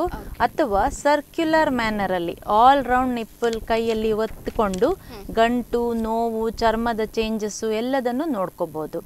ಇದಾದ ನಂತರ ಡೌಟ್ ಇದ್ರೆ ಮತ್ತೆ ತಜ್ಞರಲ್ಲಿ ಸಲಹೆ ತಗೋಬೋದು. ಈ ಟೆಸ್ಟ್ ಅನ್ನ ಅವರು ಮಲಗಿಕೊಂಡಾಗ್ಲೂ ಮಾಡ್ಬೋದು ಪಿಕ್ಚರಲ್ಲಿ ತೋರಿಸಿದಾಗ ಎರಡನೇ ಪಿಕ್ಚರಲ್ಲಿ ತೋರಿಸಿದಾಗೆ ಅಥವಾ ನಿಂತ್ಕೊಂಡು ಕೂಡ ಮಾಡ್ಬೋದು. ಮಿರರಲ್ಲಿ ನೋಡುವಾಗ ಎರಡೂ ಕೈಯನ್ನ ಸೊಂಟದ ಭಾಗದಲ್ಲಿ ಇಟ್ಕೊಂಡು ಚರ್ಮದ ಮೇಲೆ ಆಗಿರುವ ಬ್ರೆಸ್ಟ್ನ ಚರ್ಮದ ಮೇಲೆ ಆಗಿರುವ ಚೇಂಜಸ್ಸು ನಿಪ್ಪಲಲ್ಲಿ ಆಗಿರುವ ಚೇಂಜಸ್ಸನ್ನು ನೋಡ್ಕೊಳ್ಬೇಕು. ಅದನ್ನು ಗಮನದಲ್ಲಿಟ್ಕೊಂಡು ಅದನ್ನು ತಜ್ಞ ವೈದ್ಯರಿಗೆ ಬಂದು ತೋರಿಸ್ಕೋಬೇಕು. ಸೊ ಸಾಧಾರಣವಾಗಿ ಈ ಟೆಸ್ಟ್ನ ನಾವು ಪ್ರತಿ ತಿಂಗಳು ಮುಟ್ಟಿನ ನಾಲ್ಕೈದು ದಿವಸದ ನಂತರ ಮಾಡ್ಕೊಳ್ಳಿ ಅಂತ ಹೇಳ್ತೀವಿ. ಹಾಗಾದಾಗ ಪ್ರತಿ ತಿಂಗಳು ಏನಾದ್ರು ಚೇಂಜಸ್ ಕಾಣಿಸ್ಕೊಂಡಾಗ ಅವರಿಗೆ ಅರಿವಿರುತ್ತೆ. ಯಾವತ್ತೂ ನೋಡ್ಕೊಂಡೇ ಇದ್ದಾಗ ಸಡನ್ಲಿ ಯಾವತ್ತೊಂದು ಗಂಟು ಬಂದಾಗ ಅದು ಲೇಟ್ ಸ್ಟೇಜಿಗೆ ಹೋಗಿರ್ಬೋದು ಗೊತ್ತಾಗೋದಿಲ್ಲ. ಇದು ಸಾಧಾರಣವಾಗಿ ಇಪ್ಪತ್ತೈದು ವರ್ಷದ ನಂತರ ಎಲ್ಲ ಮಹಿಳೆಯರಿಗೂ ಇದನ್ನ ಅಭ್ಯಾಸ ಮಾಡ್ಕೊಳ್ಳಿ ಅಂತ ಹೇಳ್ತೀವಿ. ಈ awareness is very important cancer ಬರೋದು ಐವತ್ತು ವರ್ಷ ಇರಬಹುದು ಆದರೆ ಈ ಚೇಂಜಸ್ ಬಗ್ಗೆ ಅವರ ಬ್ರೆಸ್ಟ್ನ ಚೇಂಜಸ್ ಬಗ್ಗೆ ವ್ಯತ್ಯಾಸದ ಬಗ್ಗೆ ಅವರಿಗೆ ಅರಿವಿದ್ರೆ ಅವರು ಜಾಗರೂಕರಾಗಿರ್ತಾರೆ. That is very important that is self breast examination ಅಂತ ಹೇಳ್ತೀವಿ. ಓಕೆ ಡಾಕ್ಟರ್ ಹಾಗೆ ಅವರು ತಜ್ಞರನ್ನ ಭೇಟಿ ಆಗಬೇಕು. ನೆಕ್ಸ್ಟ್ ಬರುವಂತದ್ದು ಕ್ಲಿನಿಕಲ್ ಬ್ರೆಸ್ಟ್ ಎಕ್ಸಾಮಿನೇಷನ್ ಸೊ ಹಾಗಂತ ಹೇಳಿದ್ರೆ ಏನು ಡೀಟೇಲ್ಡ್ ಆಗಿ ಹೇಳ್ಬೋದಾ ಡಾಕ್ಟರ್ ಹೌದು. ಈಗ ಸೆಲ್ಫ್ ಬ್ರೆಸ್ಟ್ ಎಕ್ಸಾಮಿನೇಷನ್ ಹೆಂಗಸರಿಗೆ ಏನೋ ಡೌಟ್ ಬಂದಿದೆ ಅದ್ರ ಮೂಲಕ ಕನ್ಫರ್ಮ್ ಮಾಡಕ್ಕೆ ಬ್ರೆಸ್ಟ್ ತಜ್ಞರೊತ್ತಿಗೆ. ಸಾಧಾರಣವಾಗಿ ಗೈನಕಾಲಜಿಸ್ಟು ಗೈನಕಾಲಜಿಕಲ್ ಎಕ್ಸಾಮಿನೇಷನ್ ಬಂದಿರುವ ಎಲ್ಲ ಸ್ತ್ರೀಯರಿಗೂ ಬ್ರೆಸ್ಟ್ ಸೆಲ್ಫ್ ಎಕ್ಸಾಮಿನೇಷನ್ ಅವೇರ್ನೆಸ್ ಬಗ್ಗೆ ಮಾತಾಡ್ತೀವಿ ನಾವು. ಮತ್ತೆ ಅವರಲ್ಲಿ ಏನಾದರೂ ಡೌಟ್ ಇದ್ರೆ ನಾವು ಕೂಡ ಎಕ್ಸಾಮಿನ್ ಮಾಡಿ ಹೇಳ್ತೀವಿ. ನಮಗೆ ಆ ಗಂಟು ಸಸ್ಪಿಷಿಯಸ್ ಅಂತ ಅನಿಸಿದ್ರೆ ಈ ಪೇಷಂಟ್ಗಳಿಗೆ ನಾವು ಮ್ಯಾಮೋಗ್ರಫಿ ಅಥವಾ ಅಲ್ಟ್ರಾಸೋನೋಗ್ರಫಿ ಮಾಡಿಸ್ಕೊಳ್ಳಿಕ್ಕೆ ಹೇಳ್ತೀವಿ. ಅದರ ಮೂಲಕ ಅದರಲ್ಲಿ ಬರುವ ರಿಪೋರ್ಟ್ ಮೂಲಕ ತಜ್ಞ ವೈದ್ಯರು ಅಂದ್ರೆ ಜನರಲ್ ಸರ್ಜನ್ಸು ಮತ್ತೆ ಅಥವಾ ಸರ್ಜಿಕಲ್ ಆಂಕಾಲಜಿಸ್ಟ್ ಅಂತ ಅದರ ಸ್ಪೆಷಲಿ ಟ್ರೀಟ್ಮೆಂಟ್ ಮಾಡುವಂತ ನುರಿತ ವೈದ್ಯರು ಇರ್ತಾರೆ. ಈ ಪಿಕ್ಚರ್ ಅಲ್ಲಿ ತೋರಿಸಿದಾಗೆ ಇದು ಎಕ್ಸ್ರೇ ಪಿಕ್ಚರ್ ಮ್ಯಾಮೋಗ್ರಫಿ ಅಂತ ಹೇಳ್ತೀವಿ. ಅದ್ರ ಬಗ್ಗೆ ಡೀಟೇಲ್ ಮ್ಯಾಮೋಗ್ರಫಿ ಮತ್ತೆ ಅಲ್ಟ್ರಾಸೌಂಡ್ ಅವೆರಡಕ್ಕಿರುವಂತಹ ವ್ಯತ್ಯಾಸ. ಮ್ಯಾಮೋಗ್ರಫಿ ಅಂದ್ರೆ ಎಕ್ಸ್ರೇ ಅಲ್ಟ್ರಾಸೌಂಡ್ ಅಂದ್ರೆ ಈಗ ಹೊಟ್ಟೆ ಮೇಲೆ ಅಲ್ಟ್ರಾಸೌಂಡ್ ಸೌಂಡ್ ವೇವ್ಸ್ ಅಲ್ಲಿ ಮಾಡ್ತಾರಲ್ಲ ಅದೇ ತರದಲ್ಲಿ. ಎರಡರಲ್ಲೂ opinion ಕೊಡ್ಲಿಕ್ಕಾಗುತ್ತೆ but mammography is one of the best screening modality American cancer society ಅವರು ರೆಕಮೆಂಡ್ ಮಾಡಿರುವಂತದ್ದು ಆನ್ಯುವಲ್ ಸ್ಕ್ರೀನಿಂಗ್ ನಲವತ್ತು ವರ್ಷದ ನಂತರ ಮಹಿಳೆಯರಲ್ಲಿ ಹೈ ರಿಸ್ಕ್ ಅಂತ ನಾನು ಯಾರ್ಯಾರಿಗೆ ಹೇಳಿದ್ದೀನಿ.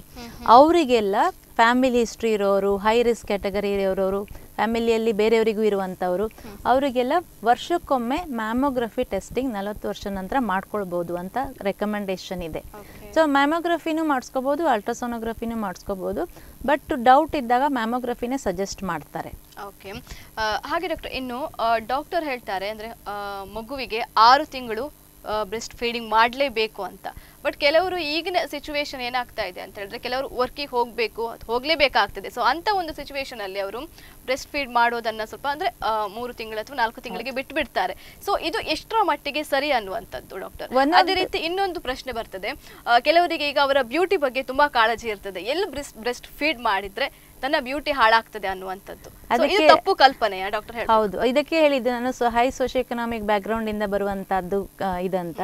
ಯಾಕೆಂದ್ರೆ breast feeding is one of the protective factor and early pregnancy less than thirty ಏಜಲ್ಲಿ ಆಗುವಂಥ ಪ್ರೆಗ್ನೆನ್ಸಿ ಫುಲ್ ಟರ್ಮ್ ಪ್ರೆಗ್ನೆನ್ಸಿ ಮತ್ತು ಫೀಡಿಂಗ್ ಮಾಡಿರುವ ತಾಯಂದ್ರಿಗೂ ಬರುವ ಚಾನ್ಸಸ್ ತುಂಬ ಕಡಿಮೆ.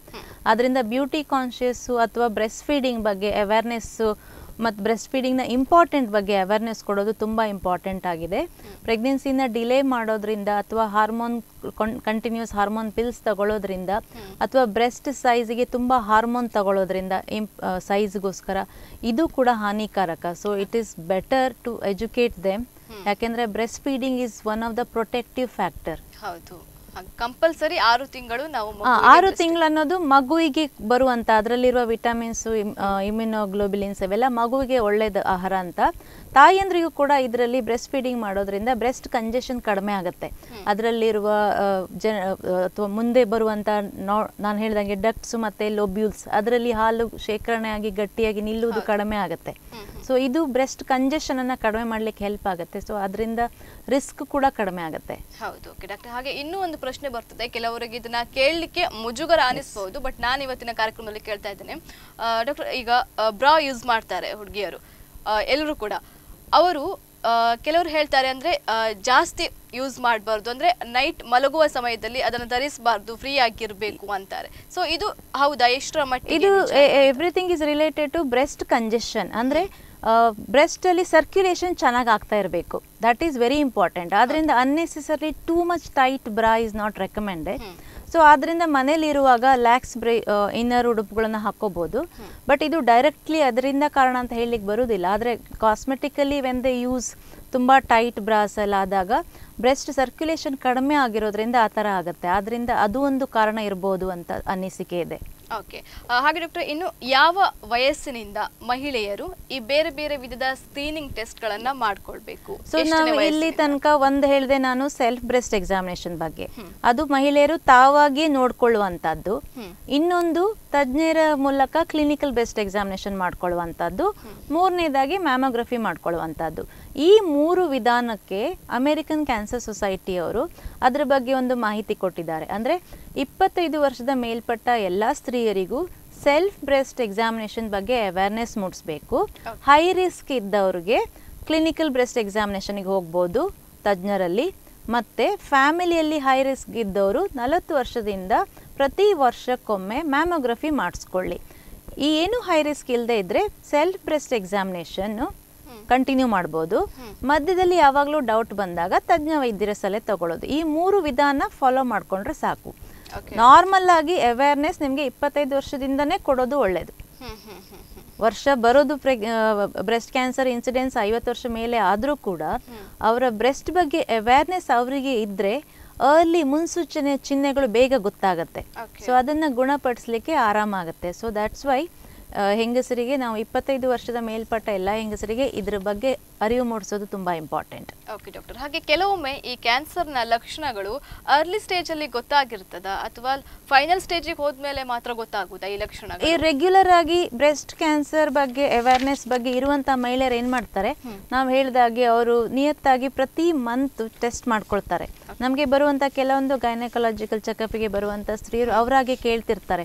ನನಗೆ ಇಲ್ಲಿ ಒಂದು ಥರ ಗಂಟು ಥರ ಕಾಣಿಸ್ಕೊಳ್ತು, ಕಂಕಲಲ್ಲಿ ಸ್ವಲ್ಪ ಗಟ್ಟಿಯಾಗಿದೆ ಡಾಕ್ಟರ್ ಇದೆಂತ ಅಂತ ಕೇಳ್ತಾರೆ.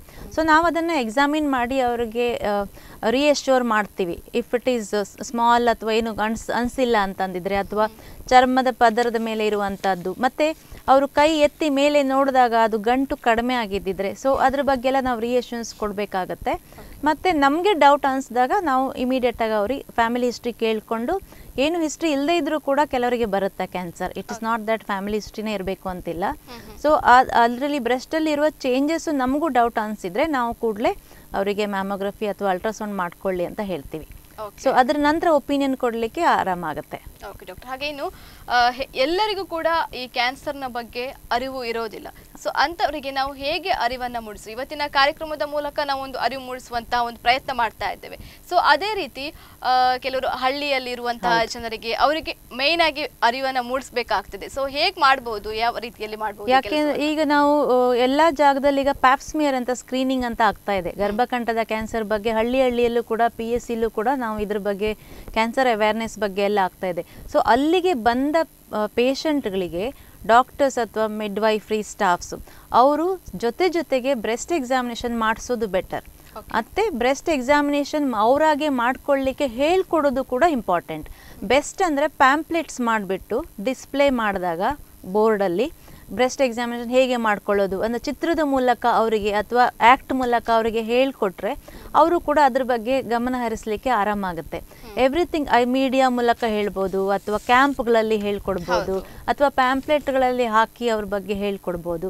ಸೊ ಈ ಈ ಥರ ಮಹತ್ತರ ಪ್ರೋಗ್ರಾಮನ್ನು ಗೌರ್ಮೆಂಟ್ ಆಫ್ ಇಂಡಿಯಾ ಕೂಡ ಹಮ್ಮಿಕೊಂಡಿದೆ. ನಾವು ಹಲವಾರು ಕ್ಯಾನ್ಸರ್ಗಳಿಗೆ ಒಂದೊಂದು ಮಂತನ್ನು ಅರಿವಳಿಕೆ ಮಂತ್ ಅಂತ ಮಾಡ್ತೀವಿ. ಈಗ ಅಕ್ಟೋಬರ್ ಮಂತನ್ನು ನಾವು ಬ್ರೆಸ್ಟ್ ಕ್ಯಾನ್ಸರ್ ಅವೇರ್ನೆಸ್ ಮಂತ್ ಅಂತ ಆಚರಿಸ್ತಾ ಇದ್ದೀವಿ.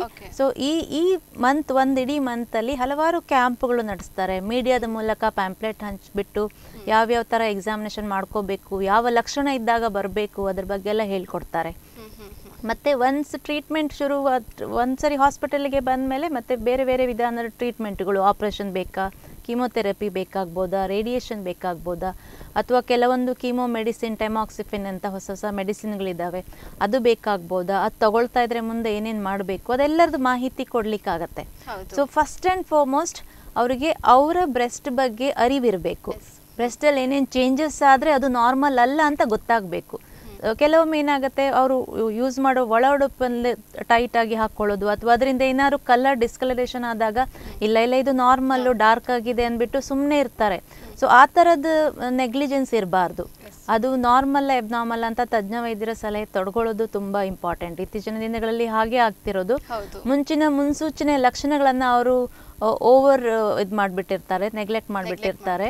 So that is very important okay doctor ಹಾಗೆ ಇನ್ನೊಂದು ಮುಖ್ಯವಾದ ಪ್ರಶ್ನೆ ನಾನು ಕೇಳಬೇಕು. ಕೆಲವರು ಸರ್ಜರಿ ಮಾಡಿಸ್ಕೊಳ್ತಾರೆ ಡಾಕ್ಟರ್ ಬ್ರೆಸ್ಟ್ ಸರ್ಜರಿ ಅಂದರೆ ಅವರು ಸೌಂದರ್ಯಯುತವಾಗಿ ಕಾಣಿಸ್ಕೊಳ್ಳಲು. ಸೊ ಇದರಿಂದ ಏನಾದರೂ ಸೈಡ್ ಎಫೆಕ್ಟ್ ಉಂಟಾ ಅನ್ನುವಂಥದ್ದು? ನಾನು ಹೇಳಿದಾಗೆ high density breast surgery breast ದಪ್ಪಾಗಿ ಕಾಣಿಸ್ಬೇಕು ದೊಡ್ಡದಾಗಿ ಕಾಣಿಸ್ಬೇಕು ಅಂತ ಕೆಲವರು breast surgery ಮಾಡಿಸ್ಕೊಳ್ತಾರೆ cosmetic surgery one of the risk factor high density ಅಥವಾ ಹೆವಿ ಬ್ರೆಸ್ಟ್ ಕೂಡ ಜೆನೆಟಿಕ್ ಪ್ರಿಡಿಸ್ಪೊಸಿಷನ್ ಆಗೋದು ಅದರಲ್ಲಿ ಮ್ಯುಟೇಷನ್ಸ್ ಚೇಂಜಸ್ ಆಗೋದು ಅದು ಕೂಡ ಚಾನ್ಸಸ್ ಇರ್ಬೋದು. ಸೊ ಅದರಿಂದ ನಾರ್ಮಲ್ ಆಗಿ ಯಾರೂ ರೆಕಮೆಂಡೇಶನ್ ಮಾಡಲ್ಲ but it is patient choice so ಅವರಿಗೂ ಕೂಡ ಅವೇರ್ನೆಸ್ ಕೊಡುವಂಥದ್ದು ಭಾಳ ಇಂಪಾರ್ಟೆಂಟ್ ಇರುತ್ತೆ. ಬಿಕಾಸ್ ಅದನ್ನೆಲ್ಲ ಮತ್ತೆ ಹಾರ್ಮೋನ್ ಕೂಡ ಯೂಸ್ ಮಾಡ್ತಾರೆ. ಅಂಥದ್ರಲ್ಲೂ ಕೂಡ ಹೈ ರಿಸ್ಕ್ ಇದ್ದೇ ಇರುತ್ತೆ. ಓಕೆ ಡಾಕ್ಟರ್ ಹಾಗೆ ಏನು ನಮ್ಮ ದೇಶದಲ್ಲಿ ಬೇರೆ ದೇಶಕ್ಕೆ ಕಂಪೇರ್ ಮಾಡಿದ್ರೆ ಪ್ರತಿ ವರ್ಷ ಈ ಬ್ರೆಸ್ಟ್ ಕ್ಯಾನ್ಸರ್ನ ಒಂದು ರೇಟ್ ರೇಟಿಂಗ್ ಏನು ಜಾಸ್ತಿ ಆಗ್ತಾ ಉಂಟಾ? ಎಕ್ಸಾಕ್ಟ್ ರೇಟ್ ಗೊತ್ತಾಗೋದಿಲ್ಲ ಗೊತ್ತಾಗುದಿಲ್ಲ ಇವಾಗ. Because it is world wide statistics ಕೊಡ್ತಿರ್ತಾರೆ. ಮತ್ತೆ ಬ್ರೆಸ್ಟ್ ಕ್ಯಾನ್ಸರ್ ಇನ್ಸಿಡೆನ್ಸಸ್ ಈಗ ಕಂಪ್ಯಾರಿಟಿವ್ಲಿ ಜಾಸ್ತಿ ಆಗ್ತಾ ಇದೆ. ಸೊ ಇದು ಸರ್ವೈವಲ್ ರೇಟ್ ಐದು ವರ್ಷದ ಸರ್ವೈವಲ್ ರೇಟ್ ಮೇಲೆ ಕೂಡ ಹೇಳ್ತಾರೆ. ಮತ್ತೆ ಟ್ರೀಟ್ಮೆಂಟಿಗೆ ಇನ್ನು ಕೆಲವು ಪೇಷಂಟ್ಗಳು ಫುಲ್ ಟ್ರೀಟ್ಮೆಂಟ್ಗೆ ಬಂದಿರುವುದಿಲ್ಲ. ಸೊ ಅಂಥವರಲ್ಲೂ ಕೂಡ ಇನ್ಸಿಡೆನ್ಸ್ ವೈಸ್ ಗರ್ಭಕಂಠದ ಕ್ಯಾನ್ಸರ್ ಜೊತೆ ಜೊತೆಗೆ ಬ್ರೆಸ್ಟ್ ಕ್ಯಾನ್ಸರ್ ಇನ್ಸಿಡೆನ್ಸ್ ಕೂಡ ಇತ್ತೀಚೆಗೆ ಜಾಸ್ತಿ ಆಗಿದೆ. ಜಾಸ್ತಿ ಆಗುವ ಇನ್ನೊಂದು ಕಾರಣ ಏನಂದ್ರೆ ಡಿಟೆಕ್ಷನ್ ರೇಟು ಜಾಸ್ತಿ ಆಗ್ತಾ ಇದೆ. ಅವರು ಮುಂದೆ ಬಂದು ಟೆಸ್ಟ್ ಮಾಡಿಸ್ಕೊಳ್ತಾ ಇದ್ದಾರೆ. ಸೊ ಆದ್ರಿಂದ ಆಕ್ಚುಯಲ್ ಡಿಸೀಸ್ ಟೆಸ್ಟ್ ನಮಗೆ ಸಂಖ್ಯೆ ಗೊತ್ತಾಗುದಿಲ್ಲ. ಬಟ್ ಇನ್ಸಿಡೆನ್ಸ್ ಜಾಸ್ತಿ ಆಗಿದೆ. ಓವರ್ ಆಲ್ ಸ್ಟಾಟಿಸ್ಟಿಕ್ಸ್ ಪ್ರಕಾರ. ಇತ್ತೀಚಿನ ಸ್ಟಾಟಿಸ್ಟಿಕ್ಸ್ ಅಂಕಿಅಂಶ ನನಗೂ ಅಷ್ಟು ನೆನಪಿಲ್ಲ ಇವಾಗ. ಸೊ. ಅದೇ ರೀತಿ ಡಾಕ್ಟರ್, ಇನ್ನು ನಿಮ್ಮ ಡಿಪಾರ್ಟ್ಮೆಂಟ್ ಬಗ್ಗೆ ತಿಳಿಸ್ಕೊಡಿ. ಅದೇ ರೀತಿ ಕಸ್ತೂರ್ಬಾ ಆಸ್ಪತ್ರೆಗೆ ಬಂದಾಗ, ಸೊ ಇಂಥ ಒಂದು ಸಮಸ್ಯೆಯಿಂದ ಬರುವಂತಹ ರೋಗಿಗಳಿಗೆ ಅಲ್ಲಿ ಏನೆಲ್ಲ ಫೆಸಿಲಿಟೀಸ್ಗಳನ್ನ ನೀವು ಕೊಡ್ತೀರಾ? ಸಾಧಾರಣವಾಗಿ ಸ್ತ್ರೀಯರು ಫಸ್ಟ್ ಬರೋದು ಗೈನಕಾಲಜಿಕಲ್ ಚೆಕಪ್ಗೆ ಸೊ ಗೈನಕಾಲಜಿಕಲ್ ಚೆಕಪ್ ಬಂದಾಗ ನಾವು ಗರ್ಭಕಂಠದ ಕ್ಯಾನ್ಸರ್ ಪತ್ತೆ ಹಚ್ಚುವಂಥ ಪ್ಯಾಪ್ಸ್ಮಿಯರ್ ಅಥವಾ ಎಚ್ ಪಿ ವಿ ಟೆಸ್ಟಿಂಗ್ ಅಂತ ನಮ್ಮ ಡಿಪಾರ್ಟ್ಮೆಂಟಲ್ಲಿ ರುಟೀನ್ ಆಗಿ ಮಾಡ್ತೀವಿ. ಅದೇ ಸಂದರ್ಭದಲ್ಲಿ ಪೇಷಂಟ್ಗೆ ಬ್ರೆಸ್ಟ್ ರಿಲೇಟೆಡ್ ಏನಾದ್ರು ಸಮಸ್ಯೆ ಇದ್ದರೆ ಗೈನಕಾಲಜಿಸ್ಟ್ ಟ್ರೀಟ್ಮೆಂಟ್ ಅಂಡರ್ ಬರುವುದಿಲ್ಲ ಇದು. ನಾವು ಜನರಲ್ ಸರ್ಜರಿ ಅಥವಾ ಸರ್ಜಿಕಲ್ ಆಂಕಾಲಜಿ ಅವರಿಗೆ ರೆಫರ್ ಮಾಡ್ತೀವಿ. ಸೊ ಅವರಿಗೆ ಎಕ್ಸ್ರೇ ಮೈಮೋಗ್ರಫಿ ಬೇಕಾ ಅಥವಾ ಅಲ್ಟ್ರಾಸೋನೋಗ್ರಫಿ ಬೇಕಾ ಅಂತ ಅವರಿಗೆ ಹೇಳಿಬಿಟ್ಟು ದೆನ್ ನಾವು ಅವರಿಗೆ ರೆಫರ್ ಮಾಡ್ತೀವಿ. ಮುಂದಿನ ಹಂತದ ಟ್ರೀಟ್ಮೆಂಟ್ ಅವರೇ ನೋಡ್ಕೊಳ್ತಾರೆ. ಕ್ಯಾನ್ಸರೇತರ ಕೆಲವೊಂದು ಬ್ರೆಸ್ಟ್ ಡಿಸೀಸಸ್ ಇದ್ದರೆ ಫೈಬ್ರೋ ಎಡಿನೋಸಿಸು ಫೈಬ್ರೋ ಎಡಿನೋಮ ಅಂಥದಕ್ಕೆಲ್ಲ ಎಮರ್ಜೆನ್ಸಿ ಟ್ರೀಟ್ಮೆಂಟ್ ಬೇಕಾಗೋದಿಲ್ಲ. ಅದನ್ನು ನಾವು ಪೇಷಂಟ್ಗೆ ಮುಟ್ಟಿನ ಸಮಯದಲ್ಲಿ ಬರುವಂಥ ನೋವು ಹಾಗೇನಾರು ಇದ್ದರೆ ಅದರ ಬಗ್ಗೆ ನಾವೇ ಮಾಹಿತಿ ಕೊಡ್ತೀವಿ. ಸೊ ಮುಂದಿನ ಟ್ರೀಟ್ಮೆಂಟ್ ಅದು ಬ್ರೆಸ್ಟ್ ಡಿಸೀಸ್ ಅಂತಲೇ ಅನಿಸಿದರೆ ಕ್ಯಾನ್ಸರ್ ಲಕ್ಷಣನೇ ಅನಿಸಿದರೆ ಇಮಿಡಿಯೇಟಾಗಿ ನಾವು ಅವರಿಗೆ ರೆಫರ್ ಮಾಡ್ತೀವಿ. ಸೊ ನಮ್ಮಲ್ಲಿ ಸರ್ಜಿಕಲ್ ಆಂಕಾಲಜಿಯಲ್ಲಿ ಬ್ರೆಸ್ಟ್ ಕ್ಯಾನ್ಸರಿನ ಸರ್ಜರಿ ಟ್ರೀಟ್ಮೆಂಟ್ ಅವೈಲೇಬಲ್ ಇದೆ. ಅದ್ರ ಮುಂದಿನ ಹಂತ ಸರ್ಜರಿ ಆದಮೇಲೆ ಬೇಕಾಗುವಂಥ ಕೀಮೋಥೆರಪಿ ಮೆಡಿಕಲ್ ಆಂಕಾಲಜಿಯವ್ರು ಕೊಡ್ತಾರೆ. ರೇಡಿಯೇಷನ್ ಬೇಕಾದರೆ ರೇಡಿಯೇಷನ್ ಆಂಕಾಲಜಿ ಕೂಡ ಇದೆ. ಇದೆಲ್ಲ ಕಂಪ್ಲೀಟ್ ಪ್ಯಾಕೇಜ್ ಟ್ರೀಟ್ಮೆಂಟ್ ಒಂದೇ ಜಾಗದಲ್ಲಿ ಆಗುವ ಎಲ್ಲ ಸಹಾಯ ಇದೆ ಇಲ್ಲಿ. ಸೊ ಅದರಿಂದ ಟ್ರೀಟ್ಮೆಂಟು ಮತ್ತು ಅದಕ್ಕೆ ಬೇಕಾಗಿರುವಂಥ ಕೀಮೋಥೆರಪಿ ಮೆಡಿಕೇಷನ್ಸು ಟೈಮಾಕ್ಸಿಫಿನ್ ಮತ್ತು ಹೊಸ ಹೊಸ ವಿಧಾನಗಳು ಅದು ಕೂಡ ಇಲ್ಲೇ ಇದೆ. ಇನ್ನು ಫ್ಯಾಮಿಲಿ ಹಿಸ್ಟ್ರಿ ಇರೋರಿಗೆ ಬ್ರೆಸ್ಟ್ ಕ್ಯಾನ್ಸರ್ ಇರೋರಿಗೆ ಅಂಡಾಶಯದ ಕ್ಯಾನ್ಸರ್ ಬರೋ ಚಾನ್ಸಸ್ ಜಾಸ್ತಿ ಇರುತ್ತೆ ಅಂದ್ಬಿಟ್ಟು ಪ್ರೊಫೈಲ್ಯಾಕ್ಟಿಕ್ ಆಗಿ ನಲವತ್ತು ವರ್ಷ ಬರ್ತಿದ್ದಂಗೆ ಹೆಂಗಸರಿಗೆ ಮುಂಚಿತವಾಗಿ ಕಾಯಿಲೆ ಬರೋ ಮುಂಚಿತವಾಗಿ ಅಂಡಾಶಯನ ತೆಗೆಸ್ಕೋಬೋದು. ಅದಕ್ಕೆ ಪ್ರೊಫೈಲ್ಯಾಕ್ಟಿಕ್ ಓವೇರಿ ಓವೇರಿಯಾಕ್ಟಿಮಿ ಅಂತ ಹೇಳ್ತೀವಿ. ಅದನ್ನು ಕೂಡ ಮಾಡುವ ಫೆಸಿಲಿಟಿ ಇರುತ್ತೆ. ಯಾಕೆಂದರೆ ಕ್ಯಾನ್ಸರ್ ತಾಯಿ ಇಲ್ಲಿ ಬಂದಿರುವಂಥದ್ದು ಮಗಳಲ್ಲಿ ಬರೋ ಚಾನ್ಸಸ್ ಜಾಸ್ತಿ ಇದ್ದರೆ. ಸೊ ಅಂಥವ್ರಿಗೆ ನಾವು ಫ್ಯಾಮಿಲಿ ಕಂಪ್ಲೀಟ್ ಆದಾಗ ನಲವತ್ತು ವರ್ಷ ಬರ್ತಿದ್ದಾಗೆ ಅಂಡಾಶಯಕ್ಕೆ ಹೋಗುವಂತ ಚಾನ್ಸಸ್ ಇದ್ರೆ ಬ್ರಾಕಾ ಜೀನ್ಸ್ ಪಾಸಿಟಿವ್ ಇದ್ದವರಿಗೆ ಅಂಡಾಶಯ ಕ್ಯಾನ್ಸರ್ ಕೂಡ ಬರೋ ಚಾನ್ಸಸ್ ಇರುತ್ತೆ. ತಾಯಿಯಲ್ಲಿ ಬ್ರೆಸ್ಟ್ ಕ್ಯಾನ್ಸರ್ ಜೆನೆಟಿಕ್ ಇಂದ ಇದ್- ಬಂದಿದ್ದಿದ್ರೆ. ಇವರಿಗೆ ಅಂಡಾಶಯ ಕ್ಯಾನ್ಸರ್ ಬರೋ ರಿಸ್ಕ್ ಇದ್ರೆ ನಾವು ಅದನ್ನ ತೆಗೆಸ್ಕೋಬಹುದು ತೆಗೆಸ್ಬೋದು ಆ. ಪೇಷಂಟ್ಗೆ ಸೊ ಆ ಫೆಸಿಲಿಟಿ ಹಾ ಅವರಿಗೆ ಅದ್ರ ಬಗ್ಗೆ ಅವೇರ್ನೆಸ್ ಇರುತ್ತೆ ಬಿಕಾಸ್ ಅವ್ರದ್ದು ಬ್ರಾಕಾ ಟೆಸ್ಟ್ ಪಾಸಿಟಿವ್ ಇರುತ್ತೆ. BRCA one and BRCA two ಅಲ್ಲಿ ಕೆಲವರಿಗೆ ಅಂಡಾಶಯದ ಕ್ಯಾನ್ಸರ್ ಜಾಸ್ತಿ ಬರೋ ಚಾನ್ಸಸ್ ಇರುತ್ತೆ. ತಾಯಿಯಲ್ಲಿ ಬ್ರೆಸ್ಟ್ ಇದ್ದು ಆ ಜೀನು ಇನ್ನೊಬ್ಬರಿಗೆ ಓವರಿಯಲ್ಲಿ ಬರೋ ಚಾನ್ಸಸ್ ಇರುತ್ತೆ. ಬರೋಕ್ಕೆ ಮುಂಚೆನೆ ತೆಗೆಸ್ಕೊಂಡ್ಬಿಟ್ರೆ ಮತ್ತೆ ಬರೋ ಚಾನ್ಸಸ್ ಇರೋದಿಲ್ಲ. ಸೊ ಅದನ್ನ ಕೂಡ ನಾವು ಪ್ರೊಫೈಲ್ ಆಕ್ಟಿಕ್ ಆಗಿ ತೆಗಿಬಹುದು ಓಕೆ ಡಾಕ್ಟರ್ ಹಾಗೆ ಈಗ ಬ್ರೆಸ್ಟ್ ಕ್ಯಾನ್ಸರ್ಗೆ ಸರ್ಜರಿ ಕೂಡ ಇದೆ ಅಂತ ಹೇಳಿ. ಡಾಕ್ಟರ್ ಈ ಸರ್ಜರಿ ಮಾಡಿದ ನಂತರವೂ ಕೂಡ ಕ್ಯಾನ್ಸರ್ ಬರ್ತದೆ ಅಂತ ನಾವು ಕೆಲವೊಂದು ಇನ್ಸಿಡೆಂಟ್ನ ನೋಡಿದ್ದೀವಿ ಮತ್ತೆ ಪುನಃ ಕ್ಯಾನ್ಸರ್ ಮರುಕಳಿಸ್ತದೆ ಅಂತ. ಬಂದ್ರೆ ಯಾವ ಕಾರಣದಿಂದ ಡಾಕ್ಟರ್? ಇಲ್ಲ ಇದರಲ್ಲಿ ಎರಡು ಮೂರು ತರದ ಕ್ಯಾನ್ಸರ್ ನಾನು ಡಕ್ಟ್ ಮತ್ತೆ ಲೋಬ್ಯುಲರ್ ಕ್ಯಾನ್ಸರ್ ಅಂತ ಹೇಳಿದೆ. ಅದಲ್ಲದೆ ಕೆಲವೊಂದು ಇಮ್ಯುನೋ ಹಿಸ್ಟೋಕೆಮಿಕಲ್ ಮಾರ್ಕರ್ ಅಂತ ಒಂದು ಟೆಸ್ಟ್ ಮಾಡಿ ರಿಸೆಪ್ಟಾರ್ ಪಾಸಿಟಿವ್ ರಿಸೆಪ್ಟಾರ್ ನೆಗೆಟಿವ್ ಅಂತ ಎರಡು ಥರದ ಕ್ಯಾನ್ಸರ್ ಬರುತ್ತೆ. ಅದರಲ್ಲಿ ಅಂದರೆ ರಿಸೆಪ್ಟಾರ್ ಪಾಸಿಟಿವ್ ಅಂದರೆ ಈ ಪ್ರೊಜೆಸ್ಟ್ರಾನ್ ಇಸ್ಟ್ರೋಜೋನ್ ಹಾರ್ಮೋನಿಗೆ ಸಂಬಂಧಪಟ್ಟ ಕ್ಯಾನ್ಸರ್ಗಳು ಅವುಗಳು ಮೆಡಿಸಿನ್ಗೆ ರೆಸ್ಪಾಂಡ್ ಆಗ್ತವೆ. ಇನ್ನು ಕೆಲವು triple cancer triple marker cancer ಅಂತ ಹೇಳ್ತೀವಿ. ಆ ಥರ ಇದ್ದವರಿಗೆ ಇದು ರೆಸ್ಪಾಂಡ್ ಆಗಲ್ಲ. ಸೊ ಬೇರೆ ಬೇರೆ ವಿಧಾನದಲ್ಲಿ ಇದು ಟೆಸ್ಟ್ ಮಾಡಿದಾಗ ಪೆಥಾಲಜಿಕಲ್ ಸ್ಲೈಡ್ ಟೆಸ್ಟ್ ಬಯಾಪ್ಸಿ ಮಾಡಿ ಟೆಸ್ಟ್ ಮಾಡ್ತಾರೆ. ಅದರಲ್ಲಿ ಇಂಥದ್ದೇ ಕ್ಯಾನ್ಸರ್ ಅಂತ ನೋಡಿಕೊಂಡು ಅದ್ರ ಮೂಲಕ ಮೆಡಿಸಿನ್ ಬೇಕಾ ಬೇಡ ಡಿಸೈಡ್ ಮಾಡ್ತಾರೆ. ಈ ರಿಸೆಪ್ಟರ್ ನೆಗೆಟಿವ್ ಅನ್ನೋರಿಗೆ ಯೂಶ್ವಲಿ ರೆಸ್ಪಾಂಡ್ ಚೆನ್ನಾಗಾಗಲ್ಲ ಅಥವಾ ಅವರಿಗೆ ಮರುಕಳಿಸಿ ಬರುತ್ತೆ. ಅದು ರೆಕರ್ ಕ್ಯಾನ್ ರೆಕರೆನ್ಸ್ ಅಂತ ಹೇಳ್ತೀವಿ. ಸೊ ಆ ಚಾನ್ಸಸ್ ಅವರಲ್ಲೂ ಇರುತ್ತೆ. ಸೊ ಸ್ವಲ್ಪ ಪ್ರ- ಪ್ರಮಾಣದಲ್ಲ ಪೇಷಂಟ್ಗಳಿಗೆ same same breast cancer can come back again so ಅಂಥವರಲ್ಲಿ ಸಾವಿನ ಪ್ರಮಾಣ ಅಥವಾ ಟ್ರೀಟ್ಮೆಂಟ್ ಫೇಲ್ ಆಗೋ ಚಾನ್ಸಸ್ ಜಾಸ್ತಿ ಇರೋದು. ಓಕೆ ಹಾಗೆ ಟ್ರೀಟ್ಮೆಂಟ್ ಕಾಸ್ಟ್ ಬಗ್ಗೆ ಮಾತಾಡೋದಾದ್ರೆ ಡಾಕ್ಟರ್ ಎಷ್ಟಾಗ್ತದೆ? ಜಾಸ್ತಿನ? ಅಥವಾ ಏನಾದರೂ ಅವರಿಗೆ ಇನ್ಸೂರೆನ್ಸ್ ಆ ಥರ ಏನಾದರೂ ಫೆಸಿಲಿಟಿ ಇಲ್ಲ ಈಗ ಕ್ಯಾನ್ಸರ್ ಸೆಂಟರ್ ಇಂದಾಗಿ ಅವರಿಗೆ ಟ್ರೀಟ್ಮೆಂಟ್ ಫೆಸಿಲಿಟಿ ಇರುತ್ತೆ. ಸೊ ಅದ್ರದ್ದು ಕನ್ಸೆಷನ್ ಹೇಗೂ ಇದ್ದೇ ಇರುತ್ತೆ. ಮತ್ತೆ ಮಾಸ್ಟೆಕ್ಟಮಿ ಅಥವಾ ಬ್ರೆಸ್ಟ್ ಎಕ್ಸಿಷನ್ ಸರ್ಜರಿ ಮಾಡ್ತಾರಲ್ಲ ಅದು ನಾರ್ಮಲ್ ಸರ್ಜರಿಗೆ ಬೇಕಾಗುವಷ್ಟೇ ಇರುತ್ತೆ. ಮತ್ತು ಅದಕ್ಕೆ ಸ್ಕೀಮ್ಗಳೆಲ್ಲ ಇರ್ತವೆ ಇ ಎಸ್ ಐ ಸ್ಕೀಮ್ಗಳು ಅಥವಾ ಹೆಲ್ತ್ ಕಾರ್ಡ್ ಸ್ಕೀಮ್ಗಳು ಅವೆಲ್ಲ ಇರ್ತವೆ. ಕ್ಯಾನ್ಸರ್ ಸೆಂಟರ್ಗಳಲ್ಲಿ ಫ್ರೀ ಆಗಿ ಟ್ರೀಟ್ಮೆಂಟ್ ಇರುತ್ತೆ. ಅದಾದ ನಂತರ ಕೆಲವೊಂದು ಕಿಮೊಥೆರಪಿ ಯಾರಿಗೆ ಬೇಕು ಅವರಿಗೆ ಮಾತ್ರ ಕಿಮೊಥೆರಪಿ ಇರುತ್ತೆ. ಎಲ್ಲರಿಗೂ ಕಿಮೊಥೆರಪಿ ಬೇಕಾಗಲಿಕ್ಕಿಲ್ಲ. ಕೆಲವು ಸರಿ ಸರ್ಜರಿ ಸಾಕಾಗುತ್ತೆ. Depending on the type pathology test ಮಾಡಿ ನೋಡ್ತಾರಲ್ಲ ಸ್ಲೈಡು ಅದನ್ನ ನೋಡಿಬಿಟ್ಟು ಯಾರಿಗೆ ಕೀಮೊಥೆರಪಿ ಬೇಕಾ ಬೇಡವಾ ಹೇಳ್ತಾರೆ. ಕೀಮೊಥೆರಪಿ ಟ್ಯಾಬ್ಲೆಟ್ ಮೂಲಕನೂ ಕೆಲವೊಂದು ಕೀಮೊಥೆರಪಿ ಇದಾವೆ. ಸೊ ಅವುಗಳು ಅಷ್ಟು ಕಾಸ್ಟ್ಲಿ ಇರೋದಿಲ್ಲ ಇನ್ನು ಕೊನೆಯದಾಗಿ ನಮ್ಮ ವೀಕ್ಷಕರಿಗೆ ಏನು ಮೆಸೇಜ್ ಹೇಳ್ತೀರಾ? ಸೊ ನಾನು ಈಗಾಗಲೇ ಒತ್ತಿ ಹೇಳಿದ ಹಾಗೆ ಬ್ರೆಸ್ಟ್ ಬಗ್ಗೆ ಸೆಲ್ಫ್ ಅವೇರ್ನೆಸ್ ತುಂಬ ಇಂಪಾರ್ಟೆಂಟು ಹೆಂಗಸರು ಇಪ್ಪತ್ತೈದು ವರ್ಷದ ನಂತರ ಅವರಾಗೆ ಸ್ನಾನಕ್ಕೆ ಹೋದಾಗ ತಮ್ಮ ಬ್ರೆಸ್ಟ್ ಬಗ್ಗೆ ಅರಿವಿರಬೇಕು. ಬ್ರೆಸ್ಟಲ್ಲಿ ಯಾವುದೇ ವ್ಯತ್ಯಾಸ ಕಾಣಿಸ್ಕೊಂಡ್ರೆ ಅದನ್ನು ನೆಗ್ಲೆಕ್ಟ್ ಮಾಡಬೇಡಿ. ಬ್ರೆಸ್ಟ್ ನಿಪ್ಪಲಲ್ಲಿ ಚೇಂಜ್ ಆಗೋದು, ಸ್ಕಿನ್ನಲ್ಲಿ ಚೇಂಜಸ್ ಆಗೋದು, ಗಂಟು ಥರ ಕಾಣಿಸ್ಕೊಳ್ಳೋದು, ಯಾವುದೇ ಮುಜುಗರ ಇಲ್ಲದೆ ಸ್ತ್ರೀ ತಜ್ಞರ ಹತ್ರ ಅಟ್ಲೀಸ್ಟ್ ಬಂದು ತೋರಿಸ್ಕೊಳ್ಳಿ. ಅದರ ಮೂಲಕ ನಿಮಗೆ ಮುಂದಿನ ಹಂತದ ಕನ್ಫರ್ಮೇಷನ್ ಟೆಸ್ಟ್ ಮಾಡಿಕೊಂಡು ಅದನ್ನು ನಿಮ್ಮ ಚಿಂತೆಯನ್ನು ದೂರ ಮಾಡಿಕೊಳ್ಳಿ. ನೀವು ತೋರಿಸ್ಕೊಳ್ಳದೆ ಇದ್ದಾಗ ಲೇಟಾಗ ಬಂದಾಗ ಅದನ್ನ ಟ್ರೀಟ್ಮೆಂಟ್ ಮಾಡಲಿಕ್ಕೆ ಕಷ್ಟ ಆಗುತ್ತೆ.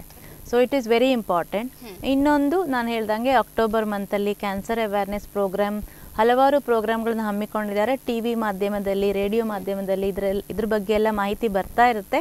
ಅದರ ಸದುಪಯೋಗ ಎಲ್ಲರೂ ಪಡ್ಕೊಳ್ಳಿ. ಮತ್ತು ಯಾವುದೇ ಮುಜುಗರ ಇಲ್ಲದೆ ಮುಂದೆ ಬಂದು ಬ್ರೆಸ್ಟ್ ಎಕ್ಸಾಮಿನೇಷನ್ ಮಾಡಿಸ್ಕೊಳ್ಳಿ.